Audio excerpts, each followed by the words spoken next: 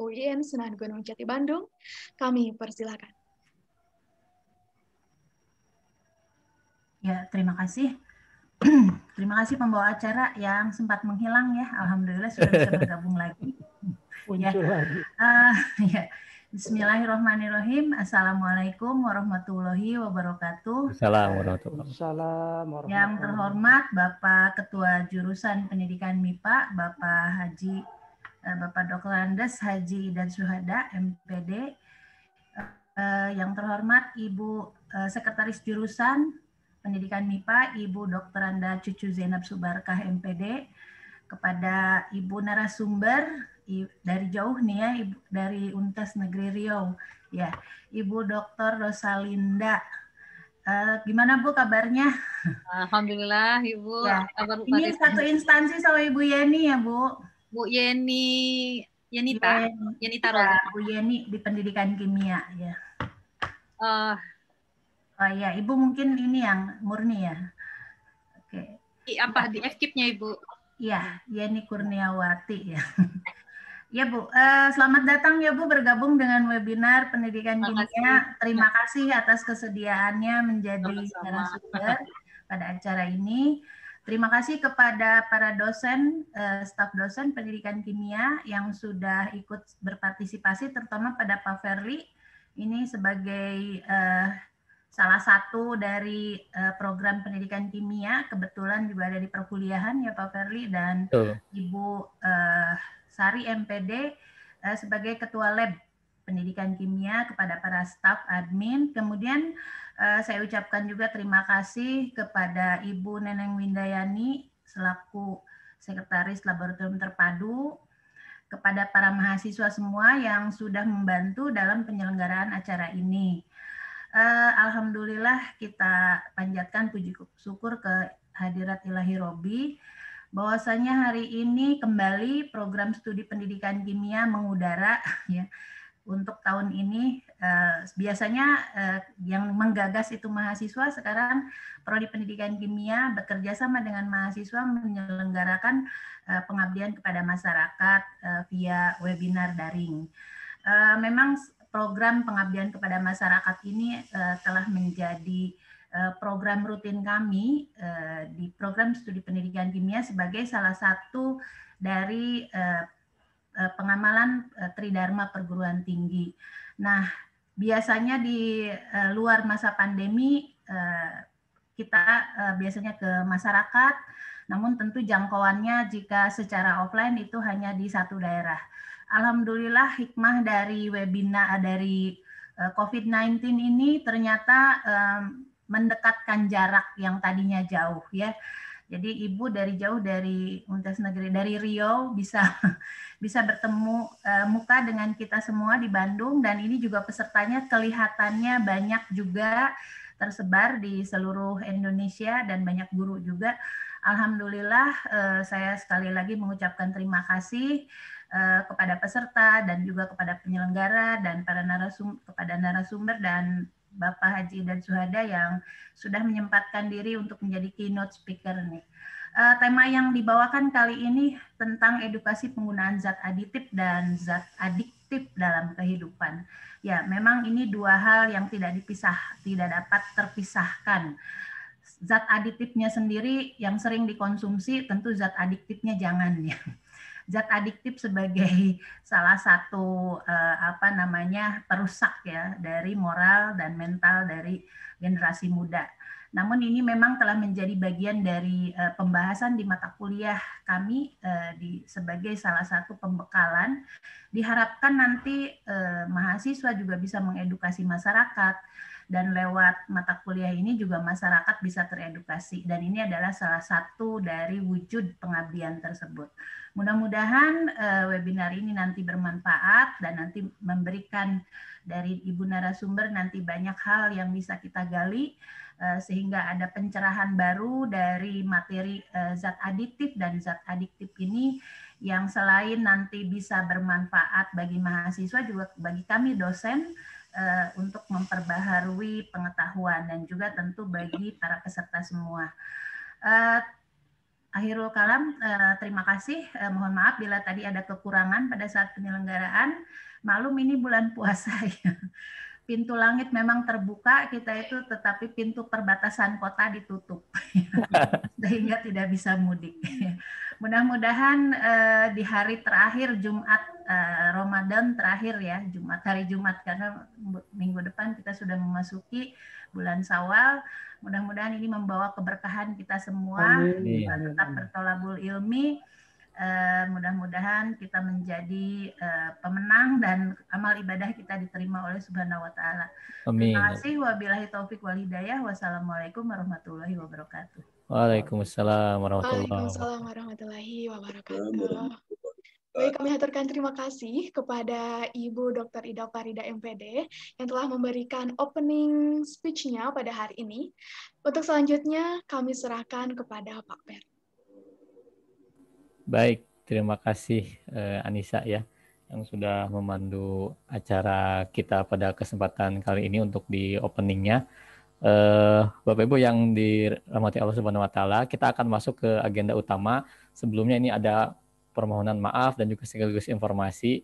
Mohon untuk doanya e, Ibu Riri ya nggak bisa join karena tadi malam ada musibah anaknya harus masuk rumah sakit dirawat di rumah sakit ya dehidrasi. Jadi mudah-mudahan kita doakan di bulan yang penuh berkah ini mudah-mudahan yang bersangkutan dan juga keluarganya diberikan kesehatan dan bisa kembali uh, sehat ya dan menikmati nikmatnya akhir di bulan suci Ramadan ini dan tentunya nanti di uh, Lebaran nanti ya. Oleh karena itu, mohon maaf juga nih saya uh, moderator dadakan. Jadi uh, oh karena iya, sudah harusnya Bu Riri ya. Harusnya Bu Riri ya. Oh iya betul.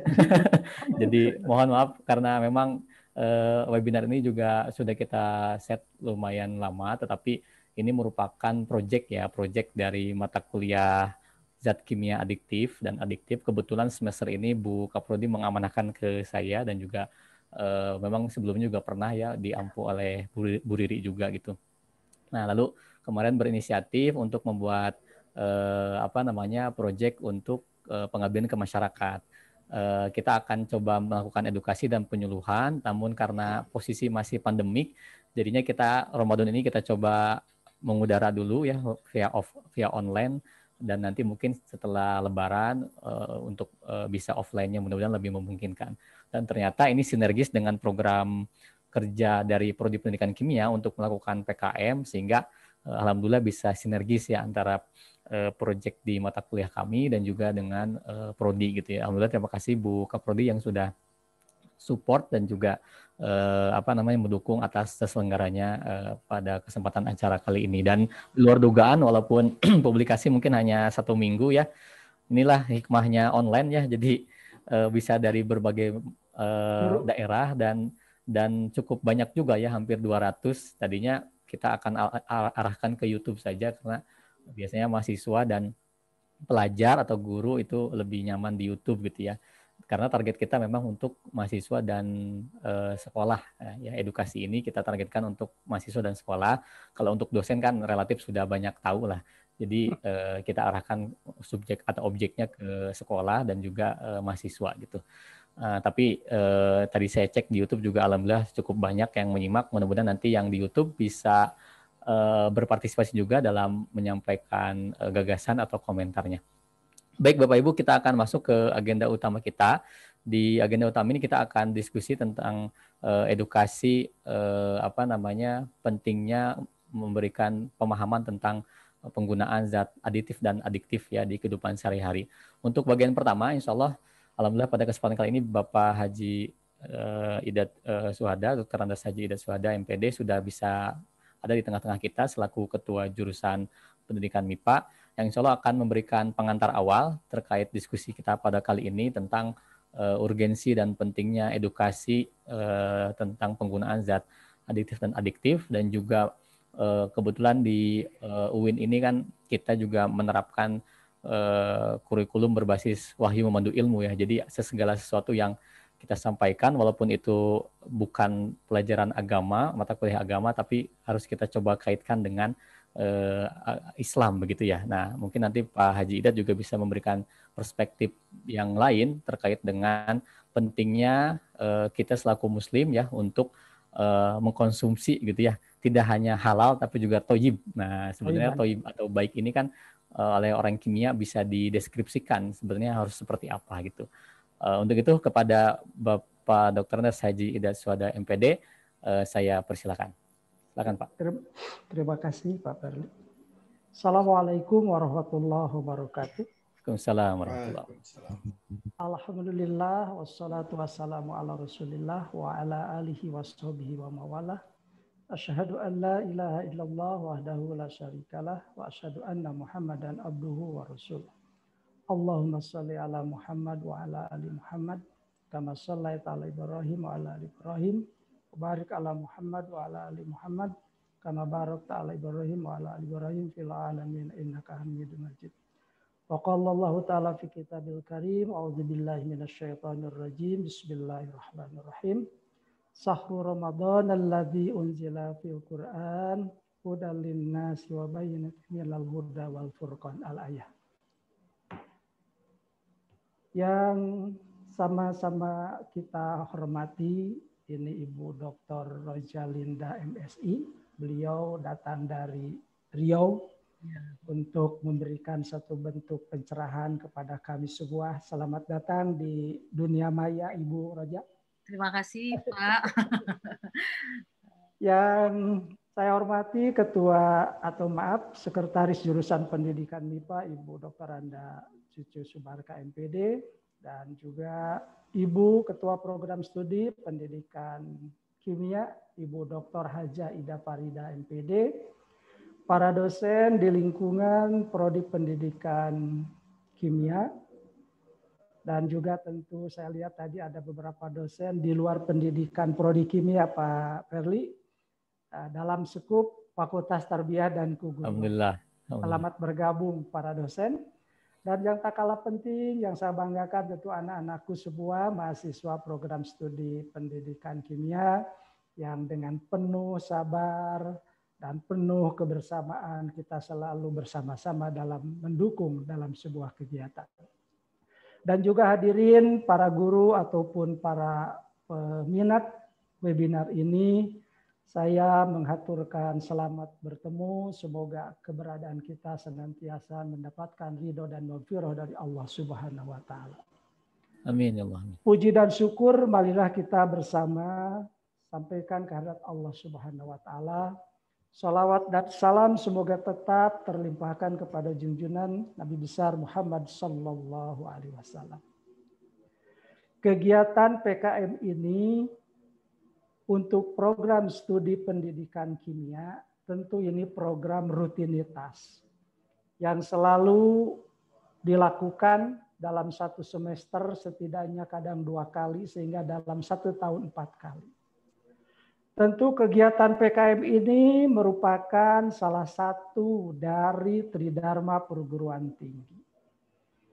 Tridharma Perguruan Tinggi merupakan suatu asas yang dipegang oleh setiap perguruan tinggi, baik negeri maupun swasta, yakni pendidikan dan pengajaran, penelitian dan pengembangan, dan juga pengabdian kepada masyarakat.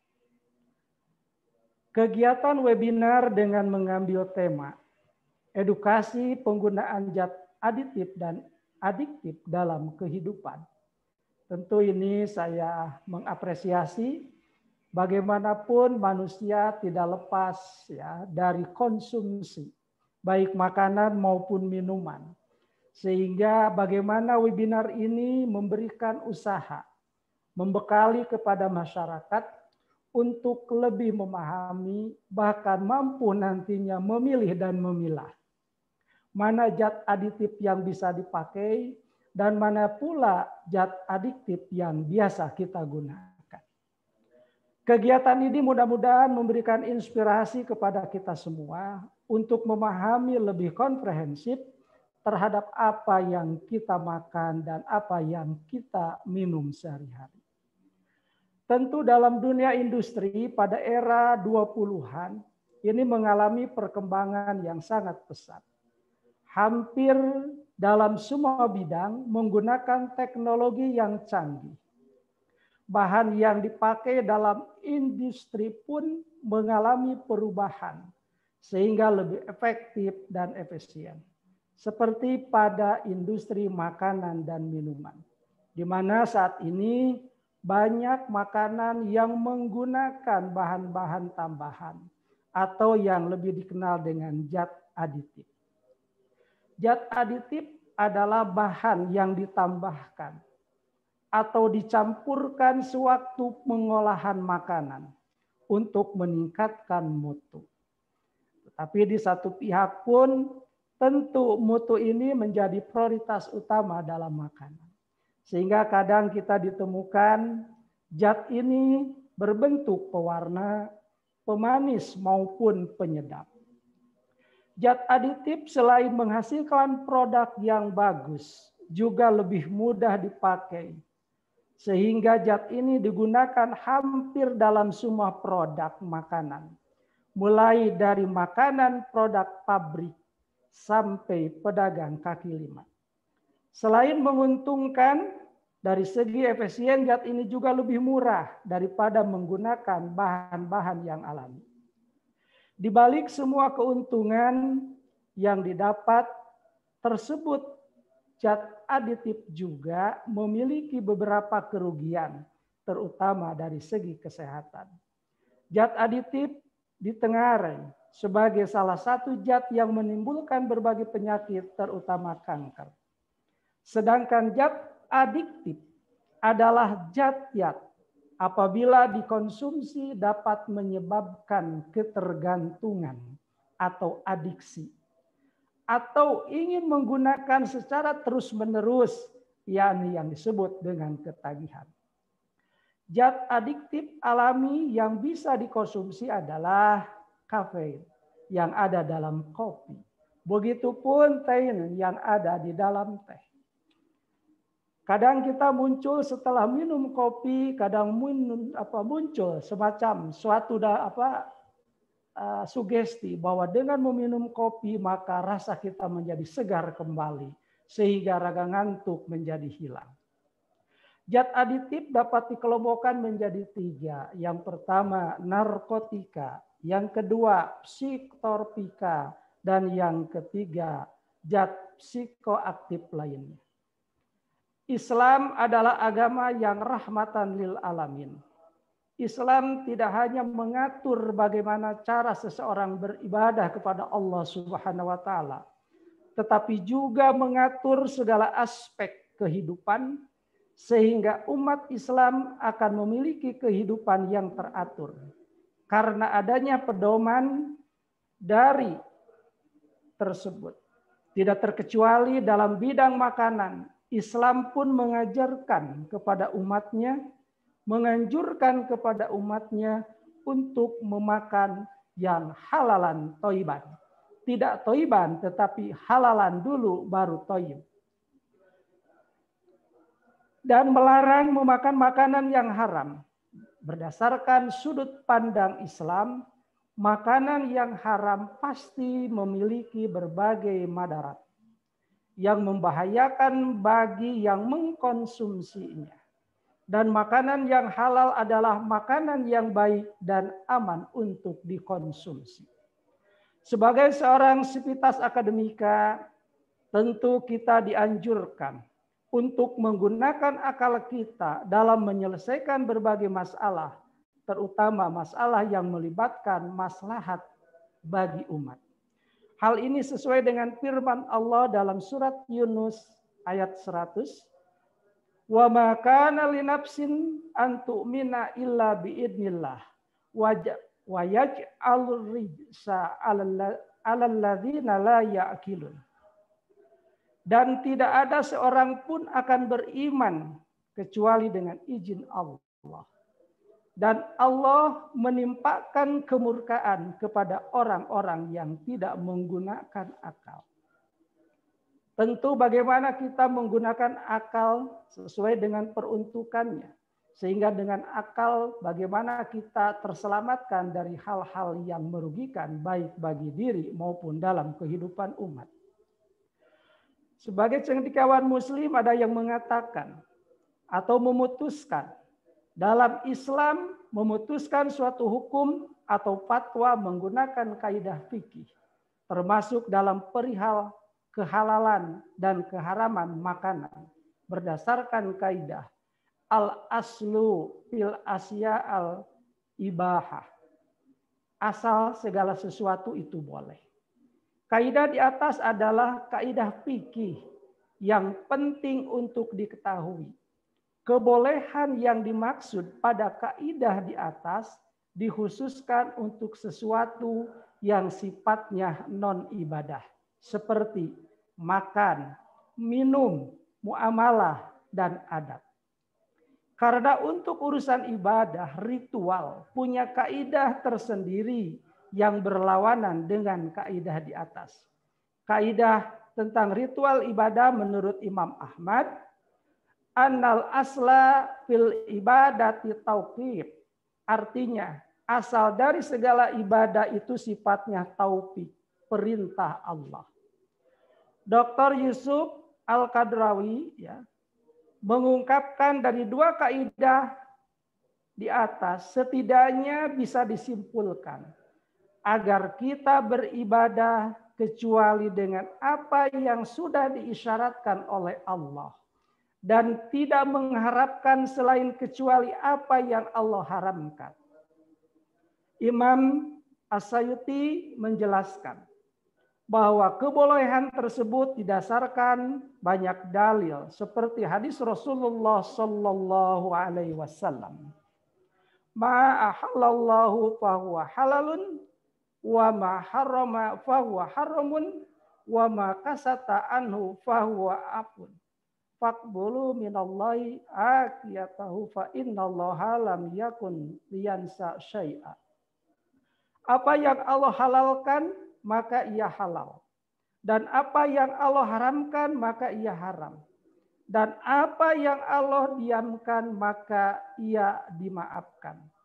Maka terimalah maafnya karena Allah tidak pernah melupakan sesuatu apa pun. Riwayat At-Tabrani wilayah halal jauh lebih luas daripada wilayah haram. Ini salah satu rahmat Allah kepada makhluknya. Bumi diciptakan oleh Allah untuk memenuhi kebutuhan hidup manusia. Oleh karena itu, di bumi diciptakan makanan halal yang lebih banyak daripada makanan yang diharamkan. Maka kita sebagai umat yang beragama, yang menjunjung tinggi nilai-nilai syariat, tentu bagaimana kita mampu memahami dan mengamalkan mana yang kita harus makan dan mana yang kita tidak boleh makan. Allah berfirman, "Wasahara lakum ma fis samawati wa ma fil ar jami'an minhu inna fi dzalika laayatil liqaumi yatafakkarun." Dan dia telah menundukkan untukmu apa yang di langit dan apa yang di bumi semuanya. Sebagai rahmat daripadanya. Sesungguhnya pada yang demikian itu benar-benar terdapat tanda-tanda kekuasaan Allah bagi kaum yang berpikir. Mengenal batas-batas makanan halal dan haram pun masih banyak yang diperselisihkan oleh ulama Artinya batasan tersebut masih bisa didiskusikan dan tidak mengikuti secara pasti. Ini membuktikan bahwa sebenarnya wilayah halal itu sangat luas. Dalam surat Al-Baqarah 168, Ya ayuhan nasukulu mimma fil ardi halalan taiban. Wala tattabi'u syaitan innahu lakum aduwwum mubin. Hai sekalian manusia, makanlah yang halal lagi baik dari apa yang terdapat di bumi. Dan janganlah kamu mengikuti langkah-langkah setan.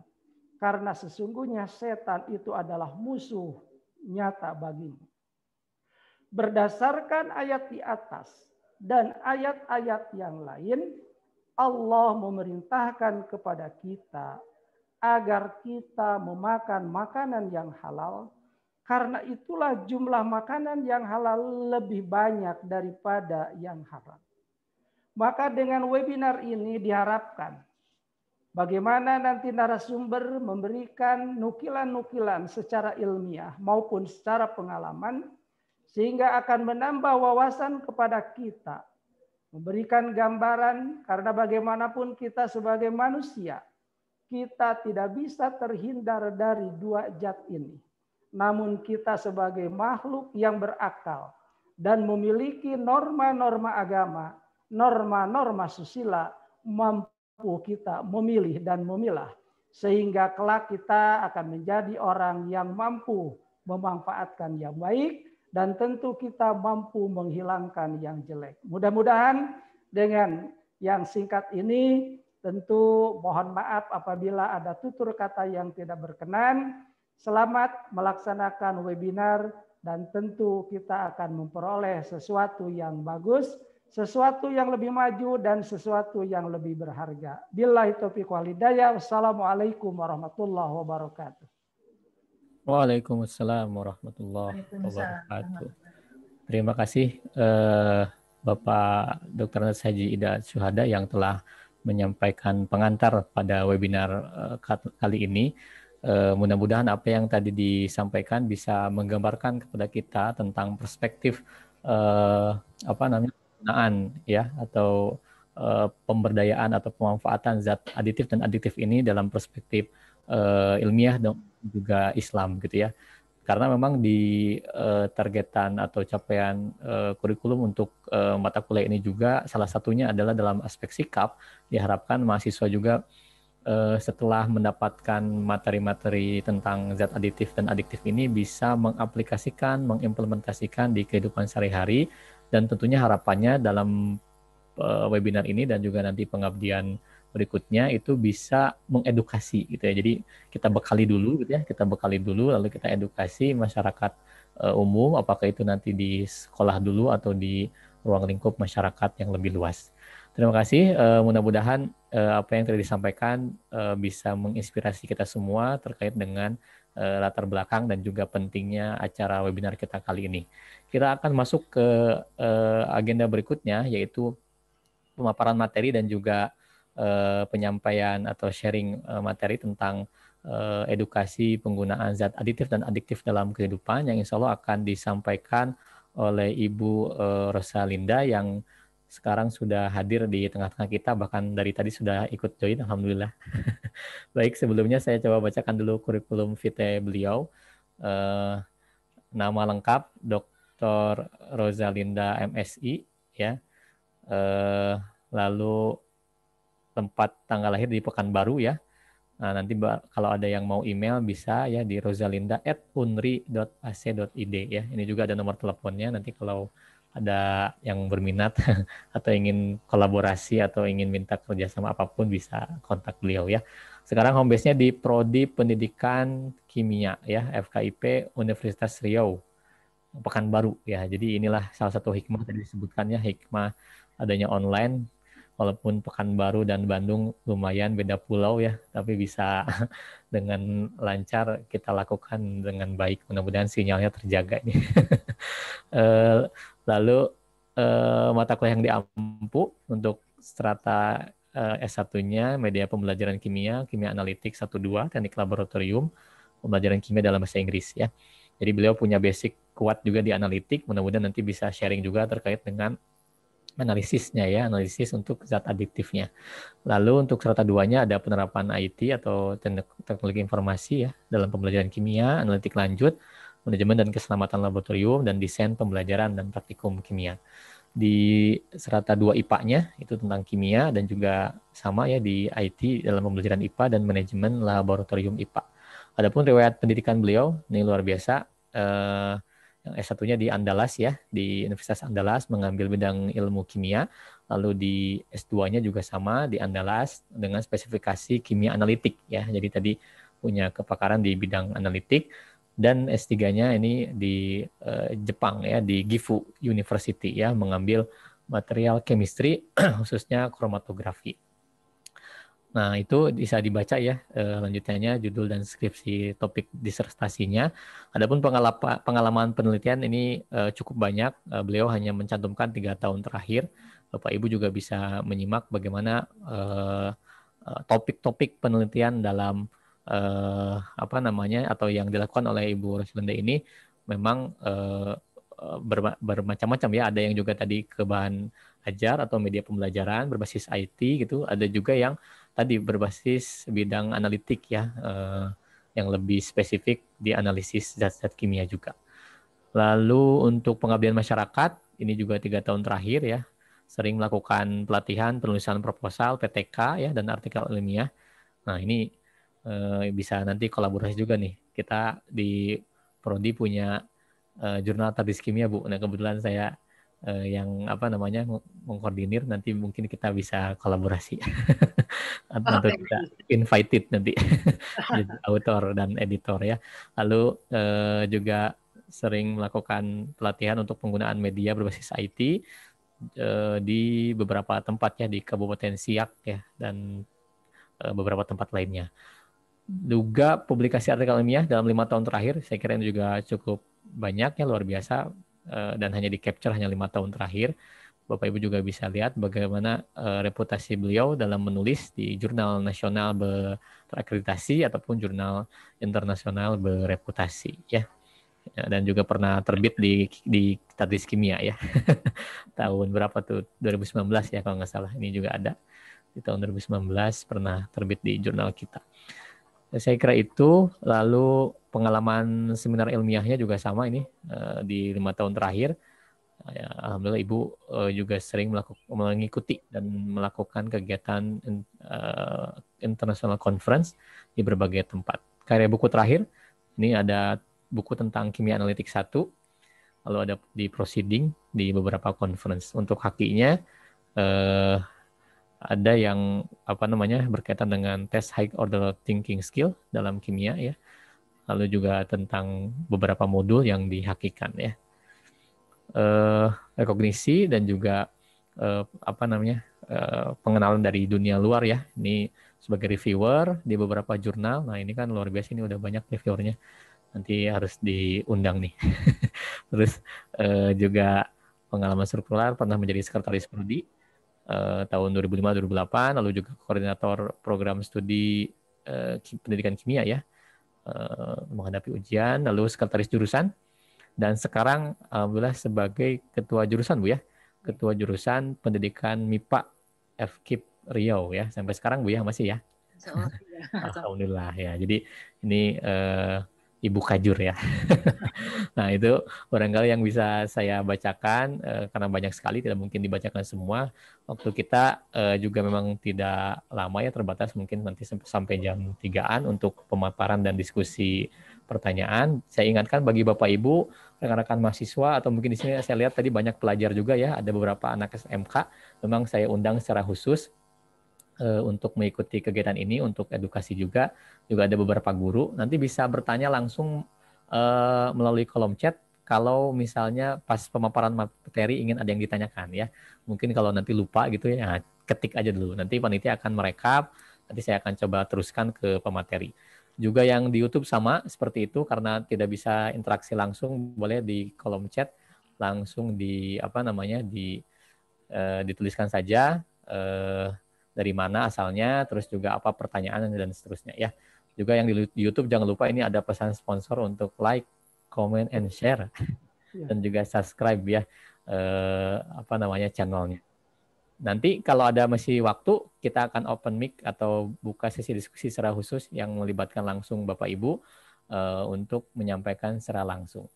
Untuk itu eh, kita akan langsung masuk ke pemaparan materi yang akan disampaikan oleh Ibu Dr. Elsa Linda MSI. Kepadanya saya persilahkan. Baik, terima kasih Pak Ferli sudah uh, mengenalkan saya kepada audiens. Uh, Assalamualaikum warahmatullahi wabarakatuh. Waalaikumsalam warahmatullahi wabarakatuh. Bismillahirrahmanirrahim. Alhamdulillahirabbil alamin wassalatu wassalamu ala israfil anbiya wa mursalin ala alihi washabihi ajmain. Amma ba'du. Uh, terima kasih yang saya hormati Bapak Ketua Jurusan PEMIPA UIN ya, ya. Sunan Gunung Jati, Bapak Dr. Andus Haji Idat Suara MPD yang tadi keynote speaker ya Pak ya. Iya. Dan uh, yang saya hormati Ibu Sekretaris Jurusan, Ibu Zainab, yang saya hormati Ibu Koordinator Prodi yang mengundang saya ya dalam acara ini, Ibu ya. Ibu Dr. Ida Farida MPD. Makasih Bu. Kemudian ya, sama -sama. Juga yang saya hormati Bapak Ibu dosen prodi kimia uh, UIN Sunan Gunung Jati Bandung, Bapak Ibu guru uh, eh, SMA, SMK, para mahasiswa, adik-adik siswa sekolah SMK dan SMA yang uh, join ya atau mengikuti webinar yang ditajak oleh program studi pendidikan kimia UIN Sunan Gunung Jati Bandung. Baik, uh, saya tidak akan perpanjang muka lima. Kita langsung saja berdiskusi dan sharing tentang topik uh, pada hari ini, yaitu tentang uh, edukasi penggunaan zat aditif dan adiktif dalam kehidupan kita. Nah, baik, uh, izinkan saya share screen.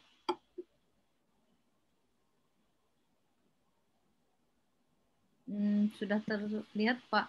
Sudah, sudah. sudah Oke. Okay. Okay. Baik, uh, judul yang saya ambil ini simpel saja, zat aditif dan zat adiktif. Nah, ini kalau melihat gambar ini kita ingat lebaran ya. Alhamdulillah hari ini tanggal 7 Mei 2021 bertepatan dengan 25 Ramadan 1442 Hijriah. Seperti yang sudah kita eh, dengar tadi dari Pak Kajur itu uh, Bu Koordinator Prodi juga Seolah dalam minggu depan kita akan uh, menyambut Hari Raya Idul Fitri satu tahun 1442 Hijriah. Dan kegembiraan atau uh, kebahagiaan kita biasanya kita uh, menyambut Hari Raya Idul Fitri itu sering ya kita ungkapkan dengan persiapan-persiapan khusus atau spesial ya salah satunya persiapan di makanan, minuman, pakaian dan sebagainya. Walaupun zaman ini Covid ya udah dua kali Lebaran kita uh, tidak bisa merayakan secara normal, tapi mudah-mudahan tidak mengurangi rasa hikmat kita beribadah ya dan juga kebahagiaan kita menyambut Idul Fitri tidak mengurangi walaupun tidak bisa mudik tadi kata Bu Kokro. Uh, baik dari gambar-gambar ini kita bisa melihat uh, berbagai macam makanan, berbagai macam minuman, permen dan sebagainya itu uh, baik yang homemade ya kita buat di rumah atau dari uh, industri makanan itu uh, tampilannya menarik, ya tampilannya menarik, kemasannya menarik, cantik, warnanya indah, rasanya juga enak. Nah, makanan-makanan ini uh, sebagai orang kimia kita tahu ada sesuatu yang ditambahkan ya ke dalamnya, baik itu sebagai pemanis, warna, pengawet dan sebagainya, sehingga tampilannya seperti yang kita dapatkan uh, saat mau mengkonsumsinya. Nah, zat-zat yang ditambahkan ya pada makanan selama proses produksi, pengemasan atau penyimpanan dengan maksud tertentu, misalnya untuk memperbaiki nilai gizi, memperbaiki cita rasanya, untuk mengawetkan, memantapkan, atau memperbaiki tampilan atau performa makanan atau minuman tersebut, itu kita sebut dengan zat aditif. Jadi sebenarnya mudah aja sih mengingatnya ditambahkan. Jadi kan add ya, itu itu ininya, clue-nya zat aditif artinya add ditambahkan. Nah, pengetahuan tentang zat aditif tadi penting. Ya, mengapa penting?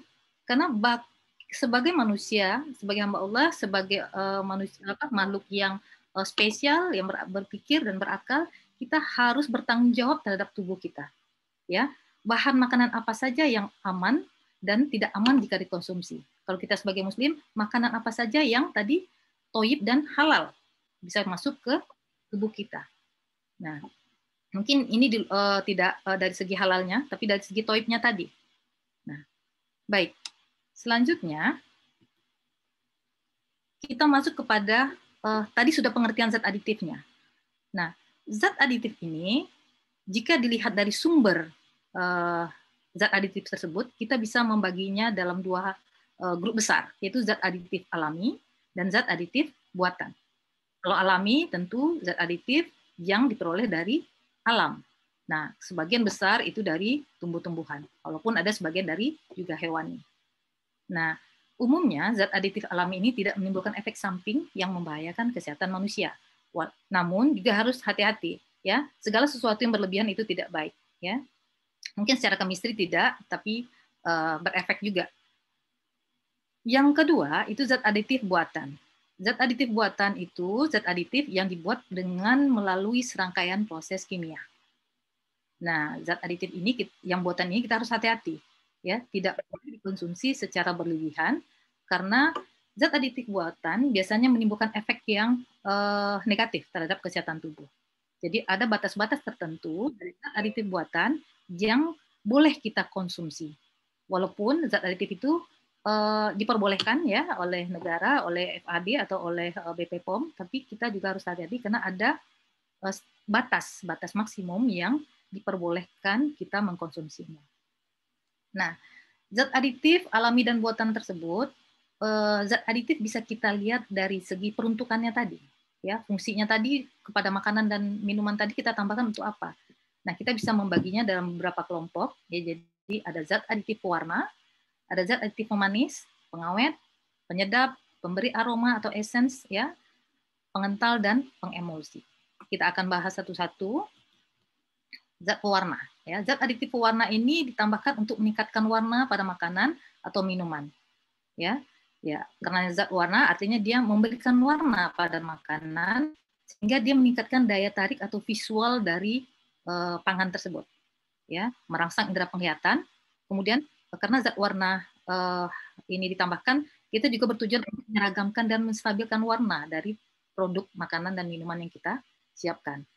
Kemudian untuk menutupi atau mengatasi perubahan warna selama proses uh, penyiapan makanan atau minuman, biasanya barangkali terjadi perubahan warna, mungkin kena pemanasan, mungkin kena penyimpanan. Nah itu di uh, diberikan uh, fungsi perwarna ini juga seperti itu untuk menutupi atau mengatasi perubahan warna. Nah, pewarna ini juga dibagi dua berdasarkan sumbernya, pewarna alami dan pewarna buatan. Pewarna alami diperoleh dari alam, baik tumbuhan ataupun hewan. Nah, kita udah biasa nih ya dalam kehidupan sehari-hari uh, menggunakan kunyit untuk warna kuning, daun suji, daun pandan untuk warna uh, hijau, kemudian bunga telang ya yang uh, dari visualnya juga cantik, warna juga unik, itu warna biru keunguan, kemudian gula kelapa untuk warna merah kecoklatan, cabai dan bunga belimbing sayur untuk warna merah. Kita juga bisa menggunakan buah naga ya, buah naga bayam merah itu untuk warna merah. Nah, eh, sebagian besar pewarna alam ini aman, insya Allah aman bagi kesehatan manusia. Nah, untuk pewarna buatan, dia punya karakteristik dibanding dengan eh, pewarna alami, itu harganya lebih murah. ya Praktis dalam penggunaannya, dan warnanya lebih kuat. Kemudian variasi warna dari pewarna buatan ini sangat banyak ya sehingga kita bisa memilih kita pengen warna apa nih. Jadi banyak variasinya, degradasi warna dari pewarna buatan ini banyak dan warnanya tidak rusak karena pemanasan. Ya, namun penggunaan bahan pewarna untuk makanan harus melalui pengujian yang ketat ya untuk kesehatan konsumen. Ya. Kita harus mengikuti takarannya yang tadi batas kebolehannya untuk dikonsumsi. Ya. Karena sebaiknya tidak dikonsumsi dalam jumlah yang banyak dan terus-menerus. Karena artinya kita memasukkan zat kimia loh nih ke dalam tubuh ya. Nah, baik beberapa contoh dari pewarna buatan yang bisa kita konsumsi itu contohnya Brilliant Blue FCF untuk warna biru, Tartazin untuk warna kuning dan Amaran untuk warna merah. Uh, pewarna buatan itu bukan hanya untuk uh, makanan biasanya diproduksi, namun juga bisa kita dibuat atau diproduksi pewarna buatan ini untuk uh, non food ya, misalnya untuk plastik, untuk uh, keramik ya, untuk tekstil yang terutama ya. Nah, zat-zat pewarna buatan yang uh, ditujukan untuk uh, non food ini itu artinya tidak atau forbidden atau tidak diizinkan untuk warna uh, food, untuk pewarna makanan. Ya. Namun dalam kenyataannya dalam kehidupan kita sehari-hari sering penggunaan bahan warna pewarna buatan yang tidak sesuai untuk peruntukannya. Jadi zat-zat pewarna tekstil itu paling sering disalahgunakan sebagai pewarna makanan. Ya. kita bisa lihat lagi Ramadan sekarang coba lihat di pasar takjil hati-hati ya eh, kita lihat warna yang makanan yang bervariasi ya walaupun kita tidak bisa menjudge langsung oh ini bapak ibu oh, pedagang menggunakan uh, pewarna tekstil ya gitu. ya tidak bisa juga memang secara ini kita harus menguji atau mengetesnya untuk uh, memastikannya ya walaupun secara visual kita sebenarnya bisa melihat kalau warnanya udah kinclong sudah ngejreng luar biasa itu itu harus lebih berhati-hati untuk mengkonsumsinya. Nah, pewarna tekstil yang sering disalahgunakan sebagai pewarna makanan itu adalah rodamin B untuk warna kuning, untuk warna merah, dan metanil yellow untuk warna kuning. Nah, efeknya apa? Karena ini memang bukan untuk uh, food, untuk makanan, itu zat-zat pewarna buatan untuk tekstil dan sebagainya ini itu bersifat karsinogenik atau pemicu terjadinya kanker. Nah, harus hati-hati. Jadi kita tidak ingin tubuh kita, keluarga kita, ya uh, menyimpan bom waktu ya. Kalau karsinogenik ini artinya dia uh, bersifat kronis tidak akut. Kronis itu nanti kapan di, di butuh waktu lama dia baru muncul uh, efeknya. Nah pewarna buatan ini ada tabel tentang pewarna buatan yang boleh untuk uh, pewarna buatan makanan dan yang tidak gitu ya. Jadi yang tidak ini sebenarnya peruntukannya untuk selain makanan ya. Jadi ini bisa kita lihat Eh, cukup banyak juga yang bisa kita pakai. Dan ini yang untuk non. Nah, zat aditif selanjutnya adalah pemanis. Ya, pemanis berfungsi untuk menambah rasa manis pada makanan dan minuman. Ya. Nah, pemanis ini juga ada yang alami dan ada yang uh, buatan. Contoh yang paling sering kita uh, ini kita dapatkan, yang kita gunakan ya, itu biasanya pemanis alami, gula tebu atau gula pasir, gula merah, madu, ya, kulit kayu, dalam hal ini kulit kayu manis ya. Nah, puasa sekarang dalam dalam masa pandemi Covid biasanya kita juga eh, sering dikonsumsi madu ya, selain untuk mendapatkan rasa manisnya juga untuk kesehatan ya. Jadi madu juga berperan hanya sebagai herbal dan juga sebagai pensupport rasa manis dalam makanan dan minuman kita. Nah, selain pemanis alami, juga ada pemanis buatan. Nah, mungkin ini ada beberapa yang kita sangat hafal ya, pemanis buatan.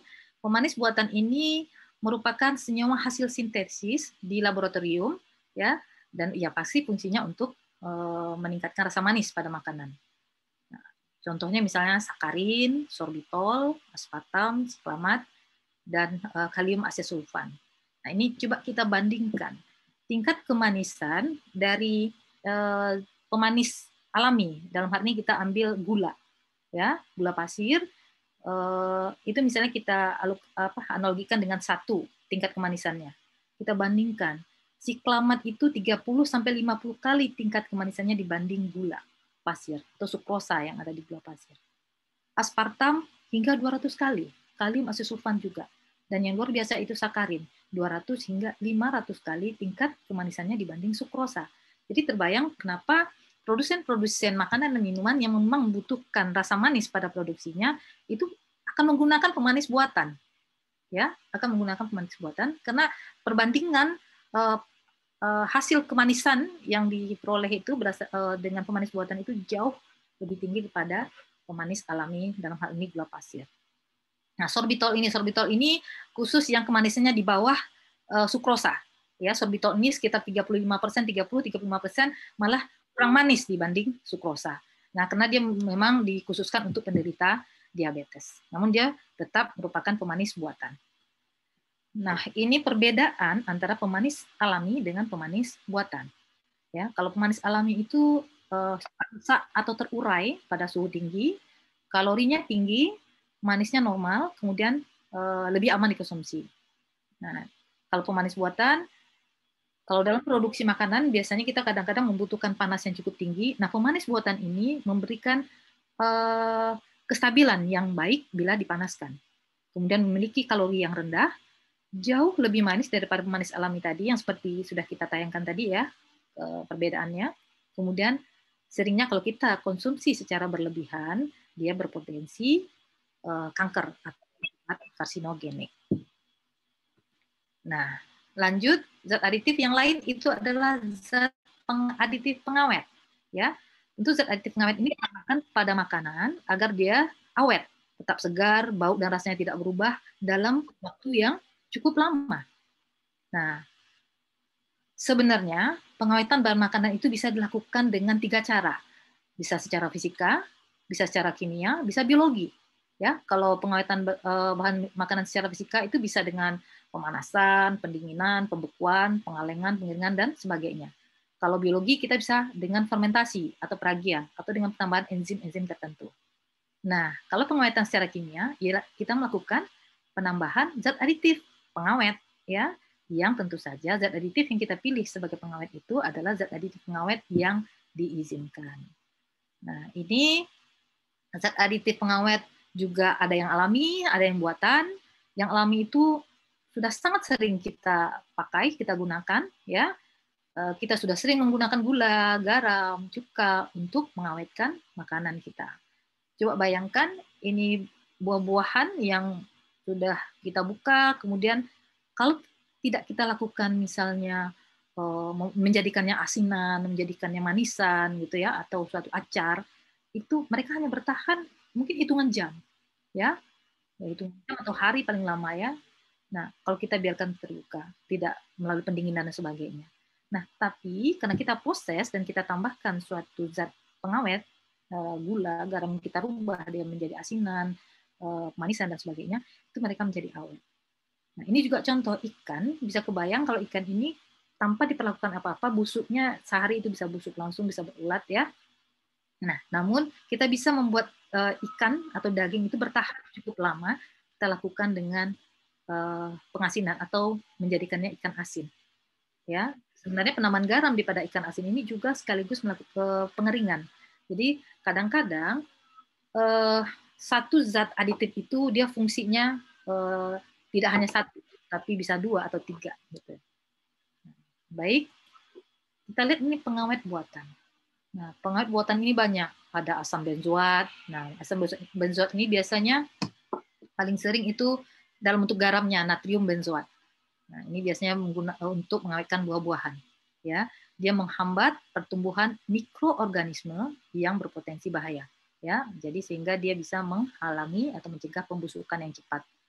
Nah, kemudian namun harus hati-hati. Nanti coba lihat di mungkin makanan kaleng atau apa gitu ya, coba di margarin, saus tomat, coba lihat uh, ini ada natrium benzoat enggak gitu ya.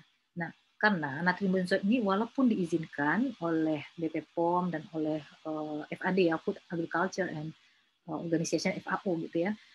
Itu ada hasil penelitian mengaitkan bahwa pengawet uh, makanan asam garam natrium benzoat ini Eh, meningkatkan risiko peradangan, kemudian juga meningkatkan attention deficit hyperactive disorder ya, jadi meningkatkan hiperaktif pada anak, kemudian juga obesitas. Jadi hati-hati, mungkin tidak uh, terlalu banyak mengkonsumsinya. Kemudian kita juga bisa menggunakan sulfur dioksida sebagai pengawet buatan, asam sitrat, kita juga bisa menggunakan asam propionat, asam sorbat, kemudian sodium nitrit. Nah, sodium nitrit atau uh, ini biasanya untuk mengawetkan uh, daging dan uh, daging olahan. Ya, ini kita bisa menggunakan sodium nitrit. Dan biasanya sodium nitrit ini uh, bisa juga digunakan dalam daging olahan kayak sosis, ya, burger, ya, atau daging slice, ya, slice uh, daging juga bisa digunakan. Nah, ini lebih dipilih oleh produsen dan dibanding mengawetkannya dengan garam karena kalau garam itu jadinya warnanya kurang menarik kalau dalam perdagangan itu jadi uh, kurang eye catching ya untuk konsumen sehingga uh, lebih dipilih yang tadi sama dengan pewarna tadi sebenarnya pengawet buatan ini juga ada uh, yang uh, diproduksi namun bukan untuk makanan ya pengawet ini juga ada pengawet buatan yang ditujukan bukan untuk makanan namun sekali lagi sering disalahgunakan. Ya, kita pasti pernah dengar ya eh, formalin, mie berformalin, eh, bakso berboraks gitu ya. Nah, padahal kita tahu formalin ini bukan untuk makanan. Begitu juga untuk boraks. Formalin ini dia bersifat desinfektan, ya, dia untuk pembasmi bakteri, untuk bahan yang dicampurkan di dalam pembersih lantai. Kalau kita kemarin awal-awal pandemi juga kita membuat formaldehid ya kalau uh, apanya nama senyawanya uh, waktu kemarin kita buat apa ya hand sanitizer yang rame-rame kita buat waktu awal-awal pandemi itu juga kita kadang-kala menambahkan formaldehid di dalam komposisi uh, hand sanitizer kita. Karena apa? Karena dia bersifat desinfektan. Ya, karena dia bersifat desinfektan inilah kadang-kadang ditambahkan oleh produsen yang kurang bertanggung jawab untuk membuat awet makanan, gitu. Ya, nah begitu juga dengan boraks. Boraks ini juga desinfektan sebenarnya ya. Nah, dia bisa untuk kulit, bisa pengawet kayu sebenarnya dia, pengawet kayu untuk me, uh, apa tuh insektisida juga ya si boraks ini. Nah, kita di ada yang tidak bertanggung jawab memasukkannya ke dalam sebagai pengawet bakso. Nah, itu hati-hati karena formalin, boraks itu dapat menyebabkan uh, efek negatif pada tubuh kita, bisa gangguan pada paru-paru, pada alat pencernaan jantung itu untuk formalin ya, untuk boraks itu bisa menyerang sistem saraf kita pada otak, hati, ginjal, dan kulit. Jadi hati-hati sekali kita semua untuk aware ya melihat mengkonsumsi makanan-makanan ini. Nah, kita lanjut kepada satu lagi zat adiktif yaitu zat adiktif penyedap. Ya, zat adiktif penyedap ini ya fungsinya untuk sebagai penguat rasa. Ya, biasanya penguat rasa protein, juga untuk menurunkan rasa uh, yang tidak enak, misalnya amis ya, kemudian untuk menguatkan aroma buah-buahan. Ya. Dia juga ada yang alami, ada yang buatan. Kalau yang alami rata-rata itu uh, rempah ya. Jadi Indonesia ini sangat kaya dengan rempah-rempah. Jadi kita sangat banyak penyedap alami uh, yang ada di negeri kita. Ya, ini coba lihat, ada pala, ada cengkeh, ada kemiri, ada macam-macam, ada kayu manis, bunga lawang ya dan kita ada bawang putih dan sebagainya. Kita bisa menggunakan rempah-rempah ini sebagai uh, penyedap alami, ya. Dan set efeknya apa? Set efeknya positif malah. Dia juga bisa berfungsi sebagai herbal gitu, obat gitu. Karena memang beberapa rempah-rempah ini memiliki kandungan uh, apa ya uh, zat-zat uh, yang uh, berefek kepada uh, uh, kesehatan tubuh kita sangat baik gitu. Nah, ini penyedap buatan. Mungkin kita tidak ada yang nggak kenal dengan namanya vetsin ya, atau micin. Nah, nah sekarang Ibu nggak tahu kenapa dibilang generasi micin gitu ya. Apakah memang makanannya semua ada vetsinnya atau apa gitu ya. Nah, kadang-kadang sering tuh, oh generasi micin gitu ya. Jangan mau dibilangin generasi micin. Ya.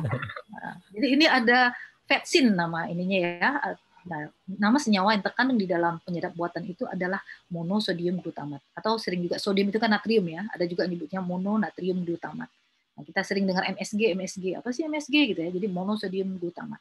Strukturnya seperti ini. Jadi itu sebenarnya garam dari asam uh, apa glutamat ya, satu salah satu uh, ini uh, asam amino sebenarnya.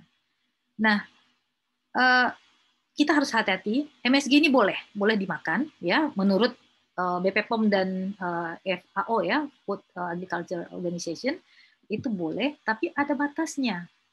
Ada batasnya. Ada uh, maksimal katanya itu kalau menurut uh, Badan Kesehatan Dunia itu 120 mg per kilogram berat badan. Jadi jangan bangga dulu, oh saya berat badan saya banyak, saya bolehlah makan vetsin banyak-banyak, oh jangan ya. Nah, jadi misalnya nih berat kita 40, nah artinya kita boleh maksimum memakan atau mengkonsumsi itu hanya 4,8 gram. Itu hanya sedikit ya sebenarnya. Tapi kalau bisa eh, kurangi dah ya, dikurangi penggunaan pengkonsumsian MSG ini. Ya. Apa dampaknya terhadap kesehatan? Ya, kalau kita berlebih apa, uh, mengkonsumsi MSG ini, dia dapat menyebabkan penyakit yang dikenal dengan istilah Chinese Restaurant Syndrome. Itu ada penyakit apa ya istilahnya? Sindrom restoran China. Jadi dulu uh, ada tahun 60-an 70-an itu ada satu peneliti ya, peneliti me, eh, meneliti ya efek makanan-makanan dari suatu restoran Cina yang sering menyebabkan gejala pusing, mulut rasa kering, lelah, mual atau sesak napas. Ini bukan rasis atau apa ya, tapi memang itu uh, asal muasal nama penyakit ini Chinese Restaurant Syndrome. Ya. Nah, sebenarnya MSG itu ditambahkan untuk gurih gitu ya, untuk mendapatkan rasa gurih. Kalau orang-orang uh, apa ya uh, labor itu biasanya menyebutkan atau peneliti menyebutkan rasa gurih itu dengan rasa umami. Ya, rasa umami itu jadi seperti suatu rasa yang kelima. Jadi ada asam, asin, pahit, manis, ada umami katanya. Jadi mungkin istilah baru bagi kita semua, itu rasa gurih, ya. Nah, sebenarnya MSG ini bisa kalau kita mau mendapatkan rasa umami tersebut, kita bisa pakai yang lain, yang alami, bisa pakai tomat, pakai kecap asin, pakai jamur, ya, sawi putih, kecap ikan, rumput laut, zaitun. Juga bisa juga menambahkan sejumput garam plus gula gitu. Jadi bisa kita mendapatkan rasa gurih dari komposisi-komposisi tersebut. Nah, selanjutnya itu zat aditif memberi aroma atau essence atau flavor, ya. Memberi aroma atau uh, essence ini adalah zat aditif yang ditambahkan pada makanan dan minuman untuk mendapatkan sehingga menyebabkan makanan atau minuman tersebut uh, memiliki rasa seperti uh, aroma tersebut yang kita tambahkan. Misalnya kita menambahkan essence uh, etil yang mengandung etil butirat, itu kita akan merasakan aroma, essence dan flavor itu seperti nanas. Ya, untuk metil butirat itu apel, oktil asetat untuk jeruk, ya ini amil asetat itu rasa pisang dan sebagainya ini. Nah itu untuk yang zat aditif memberi aroma buatan. Rata-rata uh, aroma ini adalah senyawa-senyawa ester. Ya, sebenarnya kita bisa buat juga di labor. Ya, bagi mahasiswa nanti bisa praktikum organiknya atau praktikum ininya bisa kita membuat apa uh, essence atau uh, zat aditif pemberi rasa, uh, aroma ini membuat esternya, senyawa ester. Kita bisa buat amil asetat, ini paling bisa kita buat ini. Ya, nah kalau alaminya sebenarnya udah banyak ya. Kita bisa, udah biasa kita pakai daun jeruk, daun serai, nah bisa dari aromanya gitu. Nah, kemudian kita juga punya zat aditif pengental ya yang zat yang berguna untuk menstabilkan memekatkan atau mengentalkan makanan sehingga untuk kekentalan tertentu dengan catatan biasanya makanan ini biasanya ada tercampur dengan air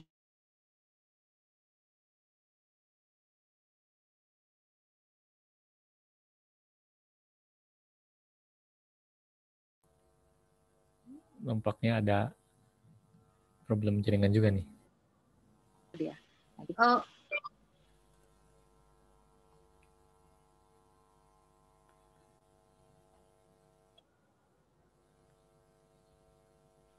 Tidak. Halo Pak Ferli? Ya, sempat terputus, sempat freeze sebentar, Bu. Oke, oke. Oke, baik. Saya lanjutkan lagi. Ya. Ini contoh zat pengental ya jadi yang harus kita perhatikan sebagai zat pengental itu adalah gelatin. Nah, gelatin di sini sumbernya itu biasanya dari hewani. Bisa dari uh, sapi, bisa dari ikan, bisa dari babi. Nah, itu kita harus hati-hati. Ya, gelatin ini tidak, untuk uh, makanan saja, untuk produk-produk kecantikan juga harus hati-hati kita ya. Gelatin ini dimasukkan. Nah, itu karena dia bisa sebagai pengental gitu. Nah, uh, harus hati-hati, cek sekali uh, makanan kita untuk penambahan ada yang ini gelatinnya. Nah, yang terakhir itu tentang pengemulsi. Ya, pengemulsi itu bahan tambahan yang untuk mempertahankan penyebaran atau dispersi lemak di dalam air dan sebaliknya. Jadi seperti koloid kalau kita orang kimia ya belajar ya dispersi lemak dalam air. Nah, contohnya itu eh, saat kita membuat ini kan kalau sabut nggak nggak makanan ya, tapi untuk melihatkan cara kerja dispersi itu apa itu sebenarnya pengemulsi emulgator kalau kita nyebutnya.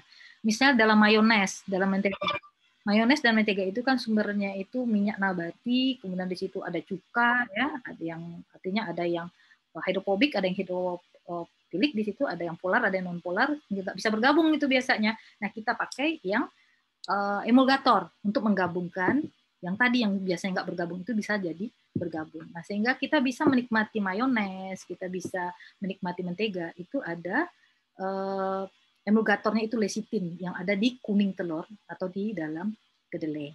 Ya, itu uh, manfaatnya untuk kita. Nah, ini beberapa batas dari penggunaan zat aditif. Mungkin uh, nanti bisa Ibu share ya ini batas-batas ini dan uh, idealnya kita kurangi. Jadi tidak jangan sampai oh ini masih belum sampai maksimum, jangan sampai kejar maksimumnya ya. Nah, ini kalau kita sebagai Eh, muslim juga, uh, intelektual juga, kita harus tahu saat kita mau makan sesuatu, terutama yang makanan kemasan, cek dulu kemasannya. Yang pertama apa yang dicek? Kalau kita muslim pasti halalnya. Ya, jadi ada sertifikasi halal, oke. Lanjut, ya. Lanjut kepada apa? Ke ingredientsnya, ke komposisinya. Coba perhatikan, siapa yang suka samyam? Samyang Green ini contohnya. Ya, kebetulan yang impor kayaknya nih ya, yang dapat Ibu. Nah, ini ada beberapa zat aditif di dalamnya. Ya, ada eh, ada asam sitrat tadi, ada penstabil gom, ada perisa alami teh, ya banyak di sini. Ada pati di sini ya, jadi banyak. Di sini juga ini eh, ini wafer ini, ini kotak wafer. Jadi di, di kotak wafer ini ada pewarna alami karamel katanya. Kemudian ada perisa sintetik, macam-macam di sini. Ya, ini uh, kornet. Kornet ya, kornet di sini pasti ada untuk pengawetnya. Nah, kita lihat siapa. Di sini dia menggunakan pengawet sodium nitrit, pengawet natrium nitrit. Ya, dia juga menggunakan perasa mononatrium glutamat atau monosodium glutamat tadi, MSG tadi. Ada nih di uh, apa tadi ini di kornet. Nah, ini minuman, minuman bersoda. Di sini pasti ada pemanis, ya. Ada pewarna. Coba lihat, ini ada sodium benzoat, ada pewarna sunset yellow FCF, ya. Dan ada hmm, apa ini? Ada flavor ya, orange natural flavor. Nah, ada perasa orange-nya. Nah, itu jadi coba cek lagi. Nah, yang ketiga apa yang harus kita cek? Udah halalnya, udah komposisinya. Coba cek expired date-nya tanggal kadaluarsanya. Jangan sampai kita semangat memakan makanan yang sudah kadaluarsa. Oke. Nah, kita lanjut ke topik yang berikutnya. Tadi kita berbicara dengan zat aditif. Sekarang kita satu lagi, adiktif. Nah, siapa yang minum favorit kopi? Ibu rasa banyak ya yang suka favoritnya kopi. Saya rasa banyak yang kopi, teh ya. Kopi kali ya, kafe-kafe sekarang luar biasa kopinya. Saya nggak tahu, walaupun mungkin bukan black coffee, tapi mungkin ya varian kopinya macam-macam, itu ramai sekali. Nah, sering kita eh, penggemar kopi atau pecinta kopi itu kalau nggak minum kopi sehari itu bisa pusing, bisa nggak konsen. Nah, sebenarnya kita bisa berpikir itu berarti ada sesuatu di dalam kopi yang membuat kita ketagihan. Nah, kalau sudah kata-kata ketagihan, artinya kita sudah edik, ya, sudah edik, sudah kecanduan. Jadi kalau tadi aditif itu kita clue-nya itu add, addition, additional ya penambahan kalau adiktif itu adalah addicted kecanduan jadi itu suatu dua hal yang sangat berbeda tadi ya zat aditif dan zat adiktif. Nah zat adiktif adalah zat yang dapat mengakibatkan adiksi atau kecanduan pada penggunanya. Ya adiksi itu apa? Suatu keadaan fisik maupun psikologi yang diakibat yang mengakibatkan badan dan jiwa kita selalu memerlukan obat tertentu untuk dapat berfungsi supaya kita fit lagi seperti normal gitu. Nah, zat adiktif ini sering juga di, di, di apa ya digaung-gaungkan tuh nafza katanya. Nafza itu kepanjangan dari narkotika, psikotropika, dan zat adiktif lainnya. Jadi narkotika, eh, psikotropika, dan zat adiktif lainnya. Kita akan bahas satu-satu ya secara brief aja. Pertama kita lihat narkotika. Nah, apa sih narkotika itu? Jadi menurut Undang-Undang Nomor 35 Tahun 2009, narkotika itu adalah zat atau obat yang berasal dari tanaman ataupun bukan tanaman, baik sintetis maupun semi sintetis yang menyebabkan penurunan atau perubahan kesadaran, hilang rasa, sampai hilangnya rasa nyeri dan dapat menimbulkan ketergantungan. Ya, narkotika ini berbahaya yang tidak boleh digunakan tanpa pengawasan dokter. Ya, kalau kita menggunakannya tanpa izin itu melanggar hukum. Nah, kalau psikotropika, psikotropika kalau berdasarkan Undang-Undang Nomor 5 Tahun 97 itu adalah zat atau obat alamiah maupun sintetis yang bukan narkotika ya, yang berkhasiat psikoaktif. Ya. Yang psikoaktif itu artinya apa? Psikoaktif itu dia mempengaruhi secara selektif susunan saraf pusat yang menyebabkan perubahan khas pada aktivitas mental dan perilaku kita. Nah, misalnya yang psikoaktif itu contohnya orang sulit tidur. Nah, akan tidur nyenyak setelah mengkonsumsi obat tidur. Nah, obat tidur itu termasuk golongan psikotropika. Yang lainnya, zat yang zanya itu nafza itu ya zat zat adiktif selain narkotika dan psikotropika itu adalah uh, zat yang mempengaruhi terhadap uh, sistem saraf pusat kita juga ya dikonsumsi dalam jumlah besar dapat menimbulkan dampak uh, kecanduan juga dan berbahaya bagi kesehatan. Dan biasanya kita kurang aware juga nih terhadap yang ZA ini ya. Kalau NAP itu kita oke okay, ya, kita cukup perhatian. Tapi kalau za ini, karena banyak di lingkungan kita alkohol, nikotin, kafein. Ya. Nah, kita coba cek narkotika. Narkotika itu digolongkan menjadi tiga golongan besar. Ya, tiga golongan besar. Golongan satu itu narkotika yang sangat berbahaya, berpotensi sangat tinggi menyebabkan ketergantungan. Dia sendiri tidak digunakan dalam pengobatan. Jadi narkotika golongan satu tidak digunakan dalam pengobatan.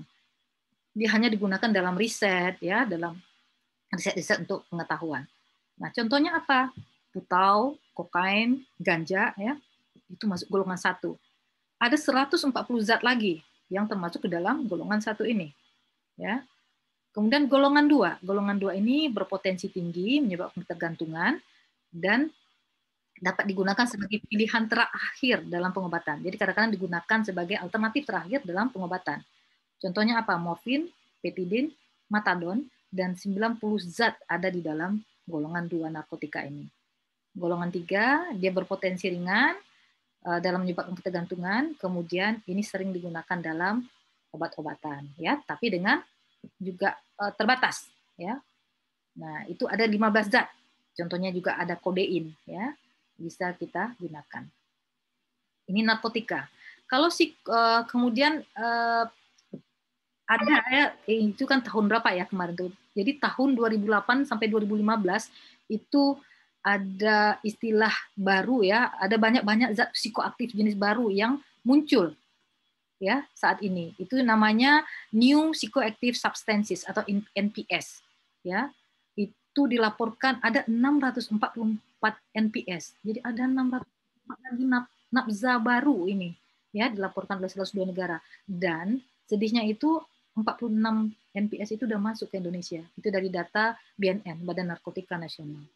Ya. Nah, jadi akhirnya ya ada perubahan sedikit penggolongan tadi anggotanya. Nah, sekarang kita lihat psikotropika.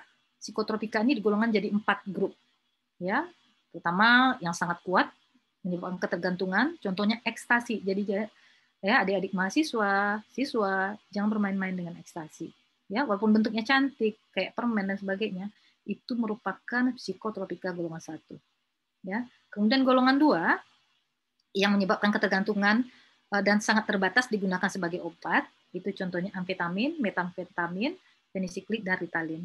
Nah, obat ini biasanya digunakan untuk uh, ada hormon dopamin ya dalam diri kita ini yang untuk meningkatkan rasa senang, rasa bahagia itu ya. Jadi uh, ini obat ini digunakan untuk meningkatkan dopamin ya, amfetamin namanya. Zat golongan dua itu psikotropika golongan dua itu amfetamin amfetamin ini boleh digunakan sebagai obat uh, karena dia mampu meningkatkan dopamin ya. Nah, dia juga digunakan sebagai stimulan sistem saraf pusat untuk menangani orang-orang yang hiperaktif dan narkolepsi. Ya. Tapi terbatas dengan resep dokter yang sangat uh, strict sekali.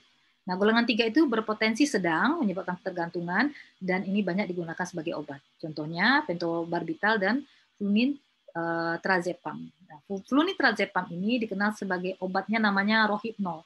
Ya, ini untuk orang-orang yang insomnianya udah parah sekali, yang nggak bisa tidur sama sekali, biasanya diresepi dokter dengan rohypnol.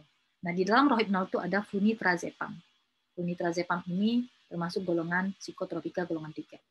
Terakhir, psikotropika golongan 4, dia berpotensi ringan menyebabkan tergantungan dan sangat luas digunakan sebagai obat. Contohnya itu diazepam, clobazam, ya, eh, barbital, nitrazepam. Nah, contohnya nitrazepam ini. Nitrazepam ini ini strukturnya itu obat yang berfungsi untuk mengobati insomnia juga, tapi bukan insomnia yang parah. Ya. Nah, ini juga bisa digunakan untuk obat anti kejang. Nah, terakhir kita masuk ke zanya tadi, zat adiktif lainnya. Yang paling kita kenal itu alkohol, ya. Jadi eh, kenapa? Eh, jadi Al-Quran itu sangat luar biasa ya Islam ini. Jadi kita dilarang sedikit banyak tidak boleh minum alkohol karena banyak mudaratnya ya walaupun di negara lain itu alkohol ini dijual bebas ya nah sebenarnya alkohol ini uh, apa ya uh, secara alami bisa didapat gitu ya. Dia secara alami melalui fermentasi glukosa itu bisa didapat alkohol ini ya. Di luar pabrikan ya di luar pabrikan yang kita alkohol pabrik. Ya kalau kita minum alkohol pasti kadar alkohol dalam darah kita ya. Orang akan mabuk dan mengalami penurunan kesadaran.